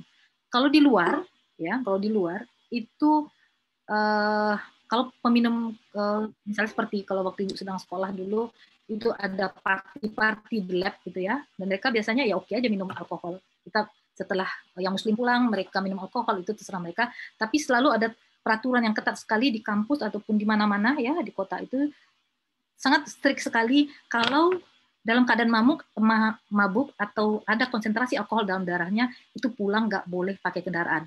Walaupun sepeda. Mereka kan pakai sepeda banyak ya, tidak boleh pakai sepeda. Jadi harus pulang jalan kaki. Nah, jadi eh, karena mereka sangat tahu efek alkohol ini luar biasa. Namun kadang-kadang eh, kita bertanya juga ya, walaupun udah tahu alkohol ini efeknya luar biasa ya, sangat ini tetap aja dikonsumsi gitu. Jadi kadang-kadang kita kurang cerdas nikotin. Nah, nikotin ini zat adiktif yang terdapat dalam tembakau. Nah, nikotin ini yang menyebabkan ketet, apa kecanduannya itu, ya. Tembakau digunakan untuk rokok, makanya sering orang-orang merokok itu susah memberhentikan rokoknya karena memang sudah edik uh, karena adanya nikotin yang ada di dalam daun tembakau. Nah, jadi tembakau ini eh, merokok uh, tolong dihindari ya, bagi sangat-sangat berbahaya bagi kesehatan, ya banyak penyakit yang bisa datang kalau kita perokok. Baik, zat adiktif lainnya setelah alkohol, nikotin, nah ini tadi, ini zat adiktif yang enak ini, kafein. Ya. Nah, kafein ini e, bukan hanya ada di kopi tapi juga ada di teh ya, ada di coklat. Nah, tapi dengan kadar-kadar yang berbeda. Yang paling tinggi memang ada di kopi. Nah, ini bisa menyebabkan kita tidak ngantuk, bersemangat. Ya. Jadi karena memang ada juga yang mengatakan dia menstimulus kinerja otak. Jadi hati-hati kalau lebih uh, disarankan memang kalau minum kopi memang black coffee ya. Jadi karena gulanya di situ bisa kita atur, maunya black coffee tanpa gula seharusnya. Ya. Uh, kafein ini zat psikoaktif tadi ya, juga menyerap syarat uh, pusat, namun tidak ada larangan dalam penggunaannya. Nanti kita harus mengontrol diri kita masing-masing supaya tidak mengkonsumsi secara berlebihan. Nah, terakhir itu uh, tentang kita lihat dampak zat adiktif ya, narkotika, psikotropika dan lainnya. Untuk jangka pendek, oke okay, narkotika itu bisa menghilangkan rasa nyeri, ketegangan kita bisa berkurang, membuat rasa nyaman, bisa uh, mimpi fly, ngantuk gitu ya. Namun lihat jangka panjangnya, kita bisa jadi addicted, ketergantungan, kecanduan.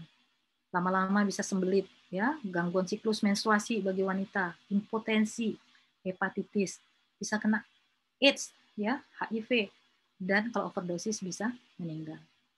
Psikotropika sebenarnya juga seperti itu, ya. Untuk jangka pendek, ya dia bisa membuat rasa bahagia, rasa melayang, rasa nyaman, ya.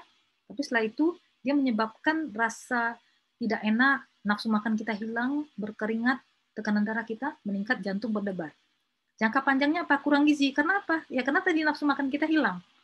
Kita kekurangan darah, anemia penyakit jantung, diserang stroke ya, bahkan karena sering halusinasi melambung nyaman tadi itu tidak bisa kena penyakit jiwa gitu. Koma dan bahkan ke kematian.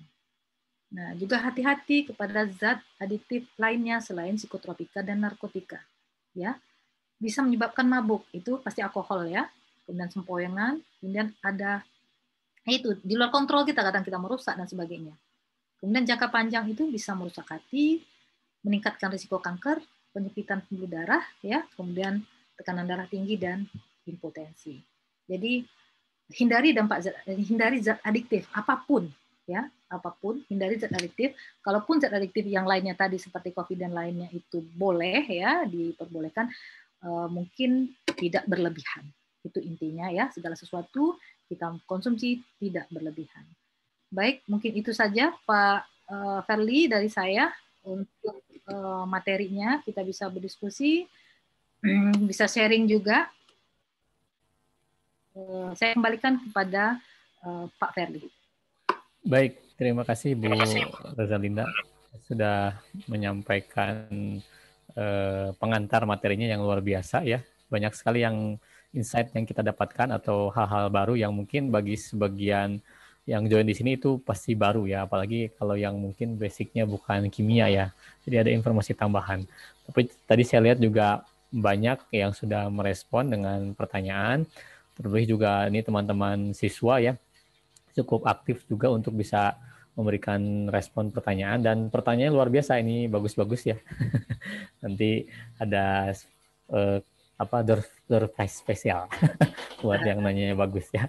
Kita coba kita coba lihat dulu ya yang ada di Zoom chat dulu deh. Nanti di YouTube kita belakangan kita lihat dulu yang di Zoom chat. Di sini ada beberapa ini dari hmm, SMK 5 ya ini ada SMK 5 yang pertama itu dari Fani ya izin bertanya faktor apakah yang menyebabkan perbedaan tingkat kemanisan pada pemanis buatan nah tadi kan disampaikan Bu ya ada ya. ada beberapa jenis pemanis buatan itu manisnya beda-beda ya Nah, itu kira-kira apa yang menyebabkan faktor faktor apa yang menyebabkan perbedaan tingkat kemanisannya itu?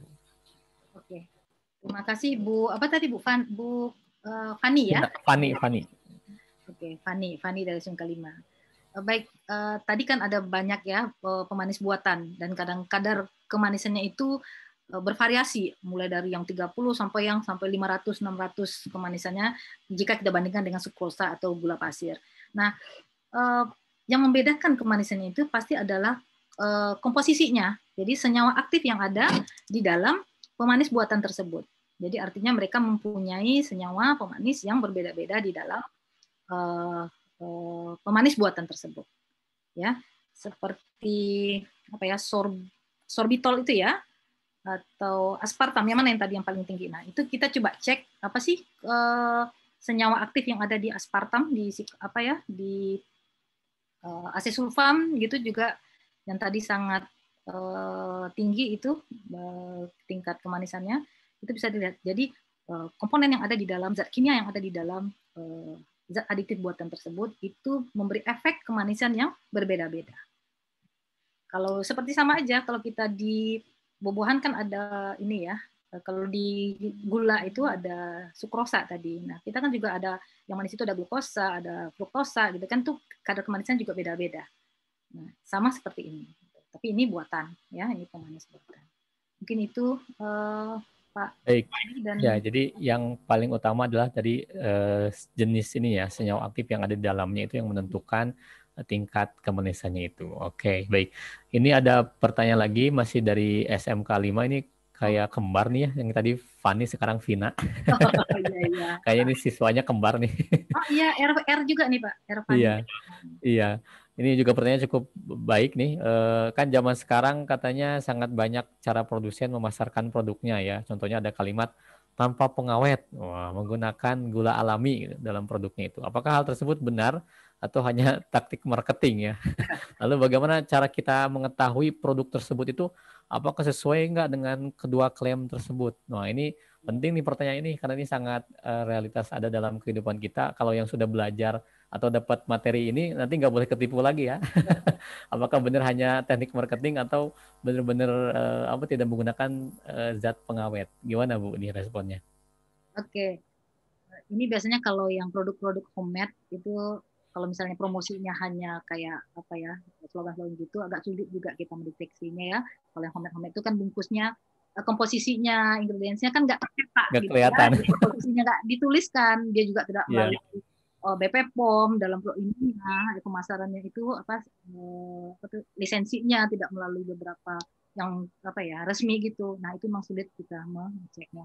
Namun sebenarnya kita bisa. Pertama tadi kalau dia produksi kemasan yang melalui ada apa ya ada uh, komposisi atau budaya dituliskannya di dalam di kemasannya kita bisa cek di dalam kemasan di komposisinya itu. Ada nggak? Nampak nggak itu zat-zat pengawet tadi yang sudah kita pelajari tadi ya kalau dia ada tuliskan uh, bahan-bahan pengawet berarti bohong itu produk produknya katanya tanpa pengawet ya tapi kalau yang tidak ada komposisinya nih homemade kadang-kadang kan nggak ada uh, ini ya uh, Ya, komposisinya tertulis. Yeah. Kita sebenarnya bisa lihat kalau lah kayak makanan yang terbuka tapi nggak dikunjungi lalat, itu masa kita nggak percaya kalau tanpa pengawet gitu ya.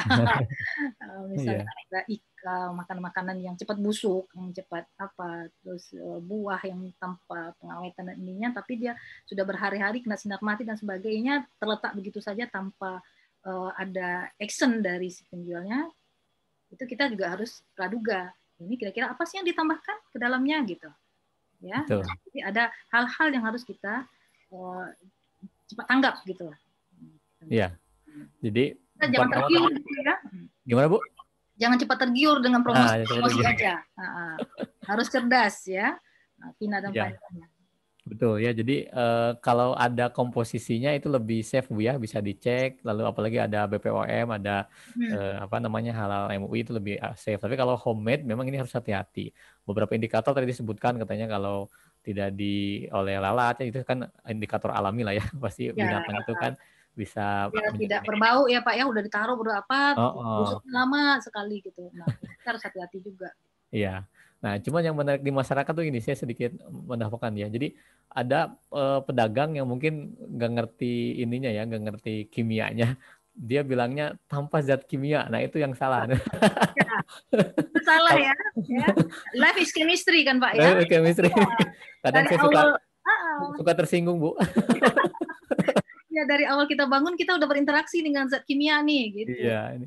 makanya kalau ada tukang bisa kosmetik gitu ya, ada yang nawarin misalnya ke rumah atau di di mall gitu ini menggunakan nih ditambah zat kimia. Wah ini ceramahin dulu ceramahin dulu ya pak ya.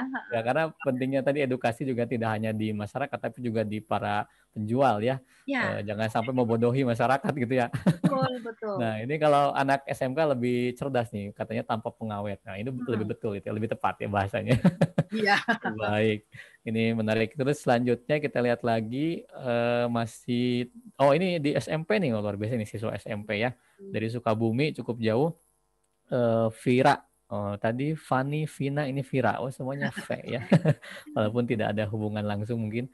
Uh, izin bertanya bagaimana caranya kita dapat mendeteksi awal melihat ciri-ciri pangan yang mengandung bahan pewarna sintetis berbahaya Tadi sudah disinggung sedikit, mungkin bisa ditambahkan Bu, gimana caranya melihat eh, ciri-ciri pangan yang mengandung bahan pewarna sintetis berbahaya. Berbahaya. Jadi uh, sebenarnya kan bahan pangan sintetis itu ada yang memang uh, boleh ditambahkan di makanan, ya, ada yang nggak boleh. Tadi kayak pewarna tekstil itu ditambahin ke makanan kita, ya, itu itu sangat tidak boleh, ya. Nah biasanya kita punya apa? Kalau bahan-bahan pewarna yang untuk tekstil misalnya itu kan memang kalau untuk tekstil dia dibuat untuk tahan lama gitu jadi dia seperti ada uh, pengikatnya ya jadi sehingga dia bisa bertahan lama di tekstil nah kalau untuk di makanan itu biasanya warna mereka lebih kinclong lebih kuat lebih strong dibanding eh, zat-zat uh, pewarna alami dan pewarna uh, sintetis yang tidak berbahaya. Tapi memang kalau secara kasat mata uh, kalau sudah melihat zat warna uh, makanan ya makanan minuman kah atau makanan kah yang warnanya sangat luar biasa cerahnya atau maksudnya kuatnya itu mungkin cerdas lagi gitu ya mulai lagi berpraduga kira-kira ini apa ya gitu kalau dia kemasan cek lagi kemasannya ya di situ kita yeah. itu hak kita sebagai konsumen sebenarnya yeah. produsen harus menginformasikan apa saja yang terkandung di dalam uh, makanan yang diproduksinya itu sebenarnya hak kita sebagai konsumen namun sekali lagi seringnya itu adalah walaupun kita tidak bisa nyalahkan juga ya, tidak semuanya ada juga yang uh, sudah sangat baik yang homemade itu. Nah, kalau nanti Vira, Vira ya tadi ya, kalau Vira nanti ketemu yeah. makanan yang warnanya luar biasa atau apa, Vira coba hati-hati dulu.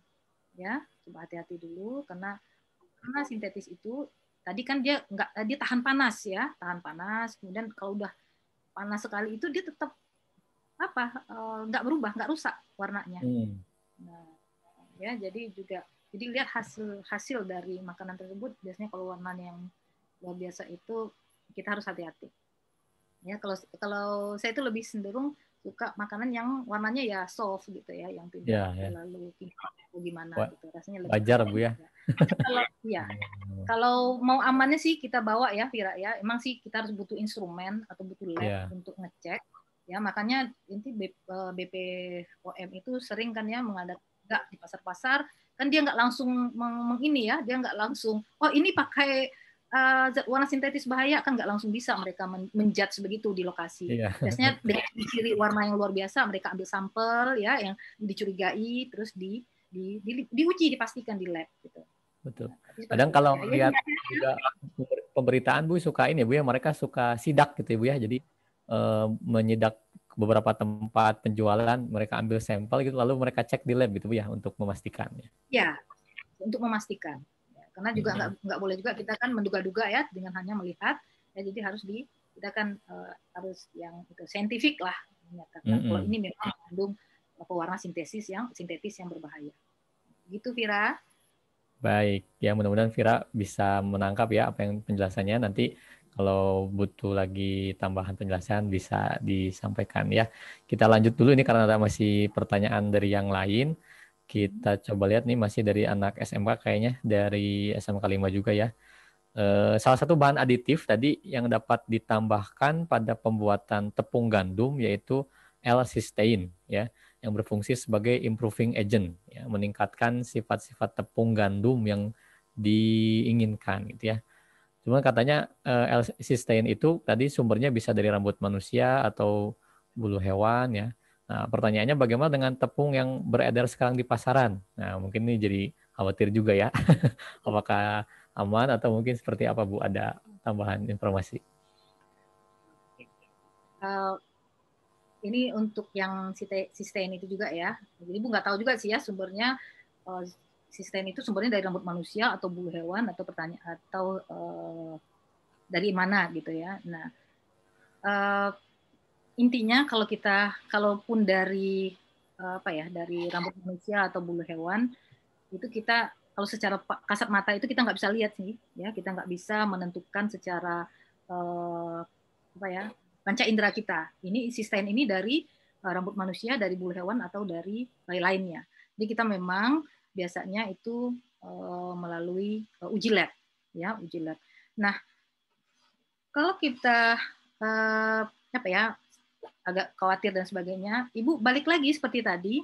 Kalau misalnya kita lihat uh, komposisinya, jadi kuncinya itu adalah uh, kalau gandum misalnya kan itu produksi pabrikan ya, dan biasanya kalau pabrikan itu dia harus memberikan uh, komposisi tadi, komposisi apa sih yang ada di dalam dan sumbernya ya. Seperti tadi kan ada yang PPT terakhir tadi dari zat aditif ibu lihatkan beberapa contoh komposisi dari produk apa beberapa produk makanan itu dia me, me, memberikan informasi detail ya. Itu produsen yang baik ya. Produsen yang baik akan memberikan informasi detail tentang apa yang ada di dalam dan sumber ya dan sumber yang ada di dalam makanannya. Waktu saya kuliah dulu pak eh, kita kan sulit ya mendapatkan makanan halal gitu ya. Jadi eh, tidak kita harus melihat komposisinya itu kalau sudah ada dari hewan itu skip. Hmm. Kalau mentega apa ada dari hewan itu mau hewannya ayam mau sapi itu skip gitu ya. Kita nggak tahu dia hmm. uh, disembelihnya pakai Bismillah atau enggak kan kita nggak tahu ya. jadi itu udah skip. Jadi memang di sana itu konsumen diberi uh, apa ya layanan yang sangat luar biasa. Jadi sumber dari uh, komposisi zat-zat di dalam itu pun dikasih tahu gitu. Hmm. Ya idealnya kita sebenarnya hak kita sebagai konsumen ya jadi kalau sudah ada hewan udah skip itu nggak usah dimakan gitu. Karena kita nggak tahu itu halal atau tidaknya gitu. walaupun bentuknya mungkin menarik sekali gitu. Iya iya Fitanya uh, untuk melihat kasat mata kita bisa ngecek nak ya itu dari rambut manusia atau bulu hewan atau lainnya gitu ya. Nah, jadi apalagi udah dia bercampur di dalam tepung nih ya. Nah. nggak kelihatan nih secara kasat mata gitu. Jadi kita memang butuh instrumen, butuh alat, butuh zat uh, pendeteksi ya, butuh zat untuk mendeteksinya ya sebagai secara reaksi kimia di laboratorium. Baik, itu tambahan informasinya memang nanti perlu di eh, apa elaborasi lagi terkait dengan sumber tadi ya dari mana asalnya. Tapi secara kasat mata intinya tidak bisa kita langsung menjustifikasi atau eh, menyimpulkan oh ini dari sumber apa namanya hewan atau tadi misalnya rambut manusia dan sebagainya ya tetap harus ada uji lab ya sebenarnya. Cuman untuk uh, kita selalu kehati-hatian di masyarakat intinya cerdas juga dalam memberi membeli produknya ya. Jadi kalau memang sudah terpercaya atau bahkan tadi ada komposisinya itu lebih bisa dipilih ya. Tadi kan kalau Bu Rosa punya pengalaman apalagi di Jepang Bu ya di luar negeri itu di Jepang waktu itu itu kan lebih sulit. Nah kalau di sini mungkin mudah-mudahan lebih mudah ya di Indonesia sudah banyak kemasan ataupun makanan yang halal dan juga tentunya sudah baik juga ya atau atau oh, seperti ini juga kali ya Pak ya kalau dia ya. sudah tepungnya itu ada sertifikasi halal artinya kan uh, BP POM UI itu memberikan halal itu kan juga bukan hanya dari komposisinya juga kan dari sumber makanannya juga kan Betul. dia Ya. memberikan ini halal atau tidaknya. Nah kalau dia sumbernya dari rambut manusia atau bulu hewan dan hewannya barangkali yang yang ini ya tentu tidak akan keluar sertifikasi halalnya gitu. Baik, betul ya. Nah, kuncinya ya gitu lihat lihat itu ya kita. Ya, alhamdulillah. Jadi ada lembaga yang sudah berwenang untuk bisa memastikan apa yang dijual dan juga bisa kita konsumsi itu aman ya. Setidaknya tadi ada BPOM, ada MUI ya yang bisa memastikan eh, produk yang dijual dan kita konsumsi itu aman ya. Makanya eh, lebih baik untuk bisa membeli produk-produk yang sudah jelas ada sertifikasi atau ada informasi keterangan eh, diperbolehkan untuk dikonsumsi begitu ya. Baik, kita masih punya pertanyaan. Nampaknya ini eh, dari eh, kolom chat Zoom masih ada tentang kafein ya. Ini dari SMK 5 lagi, Sally Nabila. Jadi ini ya eh, favorit SMA 5 ya. Iya, ini memang rajin kayaknya. Orang-orangnya, oh siswa-siswanya rajin-rajin nih, bagusnya Alhamdulillah nih. Tapi ini pertanyaannya memang realitas di lapangan juga ya di kehidupan kita. Ini ada kafein tadi disampaikan merupakan zat adiktif ya yang sering dijumpai dalam kehidupan sehari-hari. Bisa teh, kopi gitu ya. Nah, apakah ada batas amannya dan berapa batas aman mengkonsumsi kafein per hari ya? Tadi sudah disampaikan kata Ibu juga poinnya jangan sampai berlebih begitu. Mungkin ada informasi tambahan Bu terkait dengan penggunaan kafein ini ya. Bagusnya itu seperti apa? Oke, terima kasih Sally ya untuk pertanyaannya. Jadi kalau Sally masih SMK, kalau masih belum suka kopi mungkin jadi kurang-kurangin gitu ya, kurang-kurangin ngafenya gitu ya. Oke, ini uh, kafein itu sebenarnya kan boleh ya, ya boleh kita konsumsi ya, namun tidak berlebih. Nah, uh, batas amannya itu, gue pernah baca itu uh, ada ranknya antara sekitar 200 hingga 400 mg per hari kita kafein itu, atau itu setara sekitar 2-4 cangkir kopi atau 4 dan 8 cangkir teh per hari ya. Jadi kan ada orang yang minum kopinya pagi dan sore dia itu masih aman sih kalau da masih dalam Iya. rank ya kalau dari informasi rank tersebut gitu. Ya ini ya eh, di di di diminimalis lah sebenarnya ya zat-zat apa masa kita mau nambahin zat-zat masuk ke tubuh kita gitu ya. Kita udah tahu nih zat ini ada efeknya walaupun eh, boleh ya ada batasannya tapi ya kita cerdas, kita jadi jadi jadi yang cerdas gitu ya. Nah, jadi sekitar gitu Pak Pak ini Pak Iya.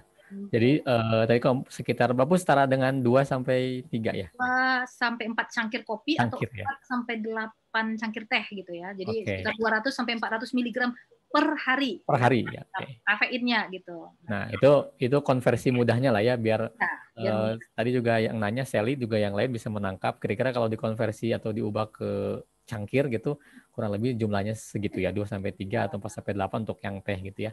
Nah, tapi memang ini yang coffee ini karena tadi seperti Ibu sampaikan sekarang lagi ngehits ya, ada coffee lovers ya, banyak kafe-kafe.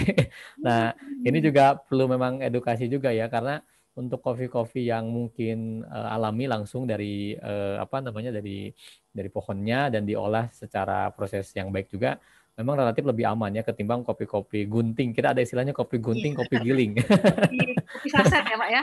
bisa set ya gitu. Itu kan lebih banyak gulanya daripada kopinya. Betul, itu Nah, kalau- gulanya itu.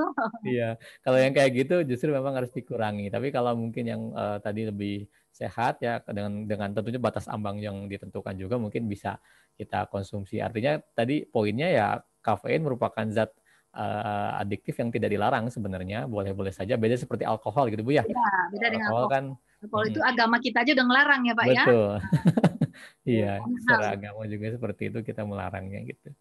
Baik, mudah-mudahan eh, Sally bisa menangkap ya eh, apa yang tadi dijelaskan oleh Ibu dan apa namanya bisa coba nanti diimplementasikan mungkin di kehidupannya ya. Baik, kita lihat di eh, Zoom chat kayaknya sudah habis di YouTube. Saya cek masih belum ya. Ini banyak juga yang hadir di Zoom ya, hampir 50-an. Eh, mudah-mudahan bisa banyak inspirasi yang didapatkan, juga informasinya juga bermanfaat ya. Ya, Saya berikan kesempatan. Gimana Bu? Ada yang mau disampaikan dulu? Oh, enggak ada. Amin, semoga bermanfaat. Oh ya, Ya, Amin.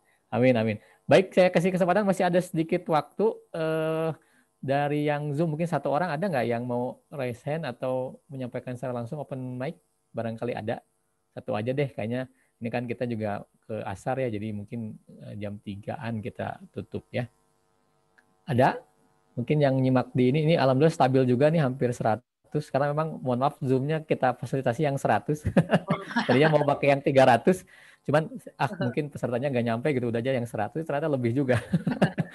Ternyata Jadi, ini Pak ya antusias tidak terantisipasi juga ini ada saya kasih kesempatan mahasiswa mungkin ada? Ini kesempatan Mas Awab riset. Coba riset ini mahasiswa nih. Boleh riset? Baik, suara riset terdengar tidak ya Pak? Ada, ada, ada.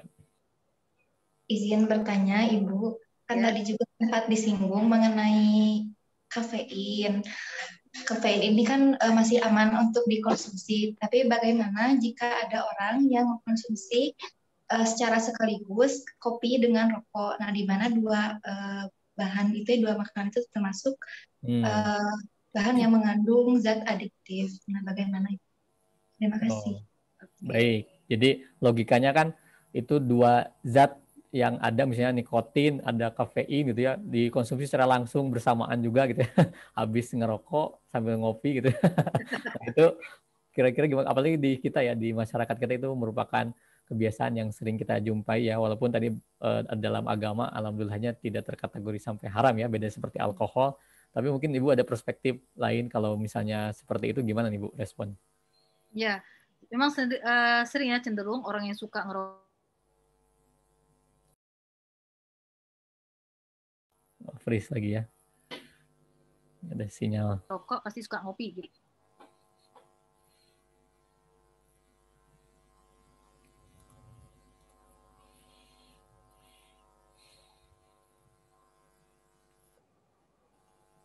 Halo? Ya, ada lagi Bu. Tadi sempat terputus. Oh, sorry. Maaf. Berarti unstable. Ini ada tulisan internet ya. unstable. Boleh Bu, dilanjut. Oke. Okay.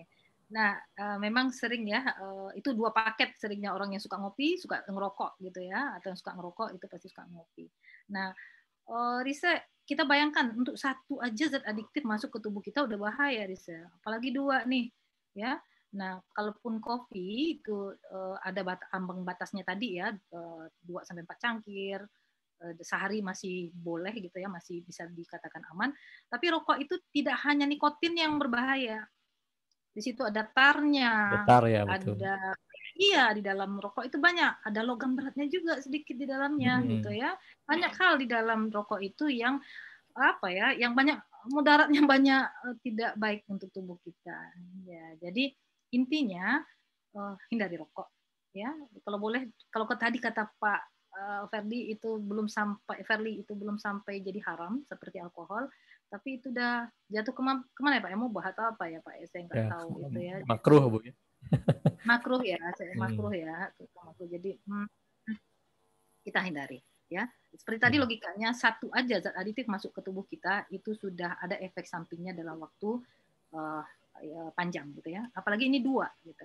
Dan si uh, rokok itu bukan hanya nikotin yang sebagai bahayanya di dalam ya. Nikotin kita pandang sebagai zat adiktifnya ya. Tapi di situ ada tarnya ada logam-logam beratnya ya. Banyak sekali uh, zat yang ada di uh, nih apa itu di rokok itu. Ada ada apa ya zat yang digunakan sebagai apa ada hidrogen sianida kadang-kadang ya. Hmm. kadar yang sangat sangat sangat kecil sekali yang nggak sama mematikan kayak sate kemarin itu lagi rame sate ini. Iya, apa apa itu sianida ya, asam sianida ya gitu ya.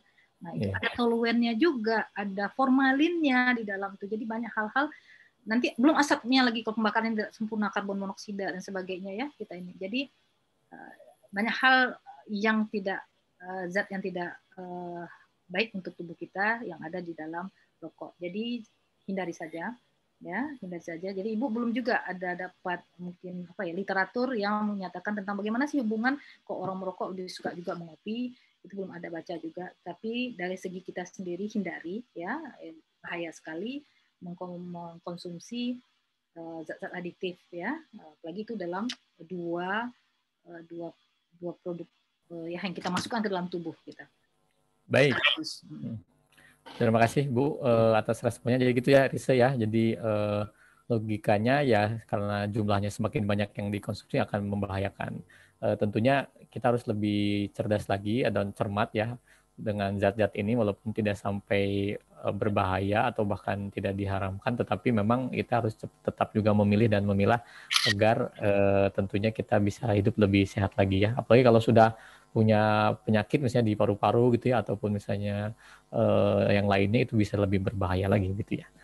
Oke waktu kita memang uh, sudah habis ya jam 3 pas.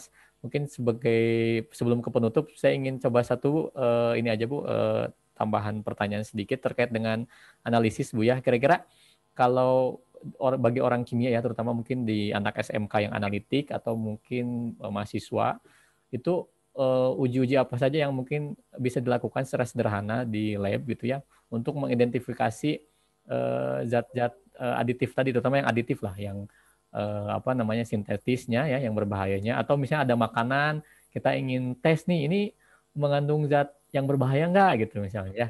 Nah, mungkin bisa sharing sedikit aja beberapa kepada kita gambaran umum terkait menganalisis makanan makanan-makanan atau produk-produk di lab gitu secara sederhana agar tahu oh ternyata ini berbahaya atau ini mengandung diindikasikan mengandung zat yang berbahaya. Kira-kira apa saja Bu ini?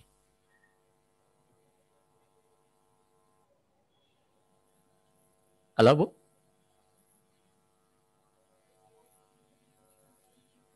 Halo, ya, halo. halo? Dengar, Pak? Ayah, terdengar, Bu, pertanyaannya? Apa tadi, Pak? Ulang lagi, coba. Oh, gitu. ya, keputus ya. Oke, ya, iya. Uh, ter terkait dengan analisis, Bu, analisis sederhana di lab untuk okay. menguji zat adiktif atau makanan lah, makanan uh, yang sederhana bisa kita uji di lab bagi anak kimia yang mungkin di sekolah SMK analitik atau mungkin di uh, mahasiswa itu kira-kira apa yang bisa kita lakukan uji apa yang sederhana gitu oke. Nah uh, kita tergantung kepada uh, zat aditif apa sih yang pengen kita uji gitu ya. Nah uh, biasanya kalau yang sering kalau apa ujinya itu sering itu zat warna gitu pak ya. Atau misalnya juga pengawet atau pemanis ya. Misalnya kita pengen menguji pengawet yang tadi nggak boleh di apa di pada satu produk misalnya kayak boraks gitu ya. Nah kita bisa atau uji pemanis lah dulu ya kita contohnya. Nah untuk uji pemanis itu kita bisa menggunakan uh, apa menggunakan uh, indikator asam cuka atau uh, larutan apa tuh ya BACL2 gitu ya. Nah itu biasanya kita bisa lihat uh, apanya uh, hasil reaksinya ya kita bisa menggunakan uh, uji pemanis tersebut ya pakai asam itu nggak salah itu. Kita bisa pakai asam indikator asam cuka ya meneteskan indikator asam cuka atau dengan larutan BaCl2 ke dalam sampel yang akan diuji ya. Kemudian kita lihat uh, perubahan warnanya ya. Nah itu bisa untuk pemanis. Kalau untuk pemanis. Kalau untuk formalin itu kita bisa menggunakan uh, indikator uh, kalium permanganat ya. Kalau permanganat ke dalam sampel kemudian kita apa ya kita kita kocok gitu ya secara perlahan ya. Kemudian kita lihat uh, pengamatannya ya. Sampel itu biasanya kita uh, terus kalau untuk formalin itu ya kalau untuk uji boraks kita bisa juga menguji kandungan ada nggak boraks di dalam bakso misalnya atau ada nggak borak tadi ya kita bakso tadi atau di dalam burger. Nah itu tentu baksonya atau sampel itu kita haluskan kemudian kita uh, apa ya uh, kita bakar di uh, pakai apa di atas kita masukkan ke cawan porselen kemudian kita kita bakar ya kita bakar di spiritus ya hingga menjadi arang. Nanti arang tersebut kita tetesi dengan alkohol ya. Kemudian saat membakar arang itu kita lihat kita kita lihat mengamati api yang dihasilkannya ya. Nah itu bisa juga untuk boraks. Nah untuk tadi ya kalau misalnya kayak uji pemanis itu kita bisa lihat nanti kalau dia mengandung pemanis buatan itu bisa ada gumpalan ya ada gumpalan ada ini ada emosi atau tidak. Nah itu bisa kita lihat. Itu indikatornya untuk uh, uji pemanis tadi. Asam cuka tadi pak ya uh, untuk melihat pemanis buatan kayak kayak siklamat gitu. Nah tapi kalau untuk uh, boraks tadi ya kita dengan uji uh, apa tadi uji bakar ya dengan spiritus yeah. juga. Kalau formalin kita bisa pakai uh, permanganat, kalim permanganat. Nah, detailnya nanti adik-adik bisa baca ini ya, tapi uh, searching saja nanti akan bisa lihat bagaimana menguji boraks, menguji formalin, atau zat pemanis ya yang ada di dalam makanan. Tapi intinya indikatornya seperti itu, Pak. Jadi sebenarnya bisa, sangat bisa adik-adik SMK kimia melakukan uji-uji uh, zat-zat adiktif yang ada di makanan di sekitar kita. Gitu. Dan zat-zatnya nggak biasanya ada yang di dalam di lab kita nggak apa tersedia gitu. Tersedia, ya. Iya, jadi bukan yang luar biasa gitu. Baik, nanti kita salah satu akan... cara ya Pak ya, bisa cara yang lain juga. Ya, baik. Terima kasih Bu. Jadi nanti kita coba ini ya, kita coba lanjutkan karena mudah-mudahan nanti di edisi berikutnya bisa offline ya. Nanti kita akan coba demonstrasikan di beberapa tempat, mungkin di sekolah atau mungkin di tempat yang apa memerlukan edukasi terkait dengan penggunaan zat aditif ini biar lebih terlihat ya bahayanya menggunakan yang sintetis ya kalau memang itu berbahaya ya. Terima kasih banyak Ibu atas uh, jawaban-jawabannya. Ini karena waktu juga yang memisahkan kita harus kita akhiri menjelang asar. Bahkan di sebagian tempat tadi yang ada sudah izin duluan karena sudah azan asar ya. Jadi mohon maaf jika me, apa, mengganggu atau pas dengan waktu asarnya mepet karena memang kita juga sudah sesuaikan. Sebelum ditutup, barangkali Bapak uh, Ibu bisa memberikan dulu closing statement akhir bagi kita semua. Silakan Bu. Baik, uh, jadi uh, kita sebagai uh, kaum intelektual ya, baik pelajar, mahasiswa, dosen dan sebagainya, itu uh, mari cerdas dalam konsumsi makanan ya. Kita sebagai muslim juga kita selalu berpegang pada prinsip halalan dan toiban gitu ya. Nah, jadi uh, kita diminta apa? Uh, kita diminta berpikir cerdas dalam mengkonsumsi makanan. Jadi makanan tidak hanya untuk apa ya, sebagai pengenyang perut ya atau untuk ini tapi juga sebagai hal zat yang membangun tubuh kita dan uh, minda kita, min kita gitu. Jadi uh, hati-hati, tetap uh, jangan jangan apa ya, jangan malas mencari informasi ya, jangan malas yeah. mencari informasi ya, harus cerdas mencari informasi sehingga kita terhindar dari apa ya konsumen uh, kita jadi konsumen yang cerdas gitu ya. Yeah. Oke, yang itu Pak. Baik, terima kasih Bu Dr. Rosalinda atas uh, pemaparan materi, jawaban dan juga respon-responnya.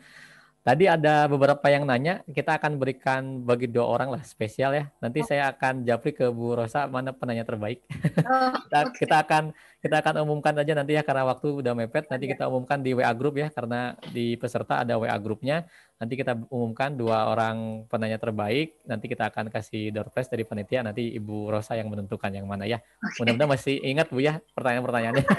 nanti saya tanya Japri Bu. okay, okay. uh, karena waktu kita memang sudah habis. Baik untuk itu terima kasih Bapak Ibu yang sudah menyimak di YouTube juga dan juga yang sudah bertahan di Zoom. Mudah-mudahan apa yang kita bahas dan uh, apa namanya bicarakan saat uh, hari ini menjadi manfaat di bulan Ramadan juga tentunya jadi amal soleh ya karena ini kajian ilmu ya jadi kita niatkan juga ini mudah-mudahan menjadi amal soleh buat kita semua. Terima kasih banyak Ibu Dr. Rosa Linda yang sudah menyempatkan hadir dan juga terutama bagi para peserta yang sudah setia untuk terus uh, ikut dalam diskusi ini. Saya akhiri, mohon maaf apabila banyak kekurangan selaku moderator. Saya kembalikan kepada MC uh, eh, Anissa, silakan. Baik, terima kasih kepada Bapak Erina juga Ibu Raza. Baik hadirin yang berbahagia, selanjutnya akan ada penyerahan sertifikat uh, sertifikat moderator yang akan diserahkan oleh Ibu Dr. Ida Farida MPD yang selaku Ketua Prodi Pendidikan Kimia kepada Bapak Ferlisep Irwansyah MSI. Ya, terima kasih. Baik, selanjutnya penyerahan sertifikat pemateri kepada Ibu Dr. Raza MSI yang akan diserahkan oleh Ibu Dr. Ida Farida MPD selaku Ketua Prodi Pendidikan Kimia UIN Sunan Gunung Jati Bandung. Mohon izin untuk operator. Ya, ini sementara virtual dulu ininya sertifikatnya. Nanti dikirim. Di share screen dulu sama panitia. Alhamdulillah, terima kasih banyak kepada Ibu Dr. Roza yang telah menyempatkan Halo. waktunya sehingga hari ini kita bisa bersilaturahmi dan berkolaborasi pada hari ini. Terima kasih. Ya, ini untuk sertifikatnya Ibu, mohon izin. Terima kasih. Alhamdulillah. Sama-sama Ibu. Terima kasih kembali Ibu.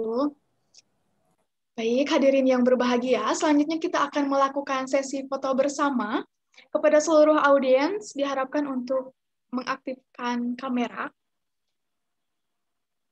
Kita akan melakukan sesi foto bersama. Baik, untuk operator sudah siap? Kita mulai dari slide pertama. Hitungan tiga, semuanya senyum. Baik. Siap? Satu, dua, tiga.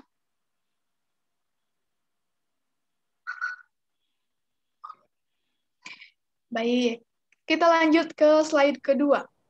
Ini ritual baru nih kalau online harus gini. slide kedua siap. Pandemik. iya. Iya, Kalau iya. slide-nya banyak harus nunggu juga nih. Ada empat nih lumayan lah. empat slide. Kita nggak tahu slide keberapa ya.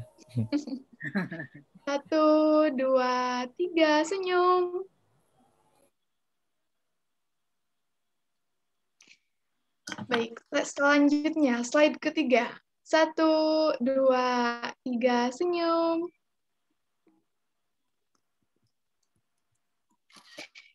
Selanjutnya slide terakhir. Oke, hitungan tiga. Semuanya senyum. Satu, dua, tiga, senyum.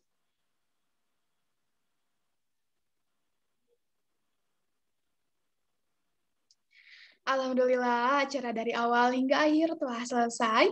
Kami aturkan terima kasih banyak kepada seluruh audiens, kepada Bapak Ibu dosen, dan juga kepada pemateri kita yang telah bergabung pada hari ini, termasuk kepada penanya yang telah bertanya pada hari ini.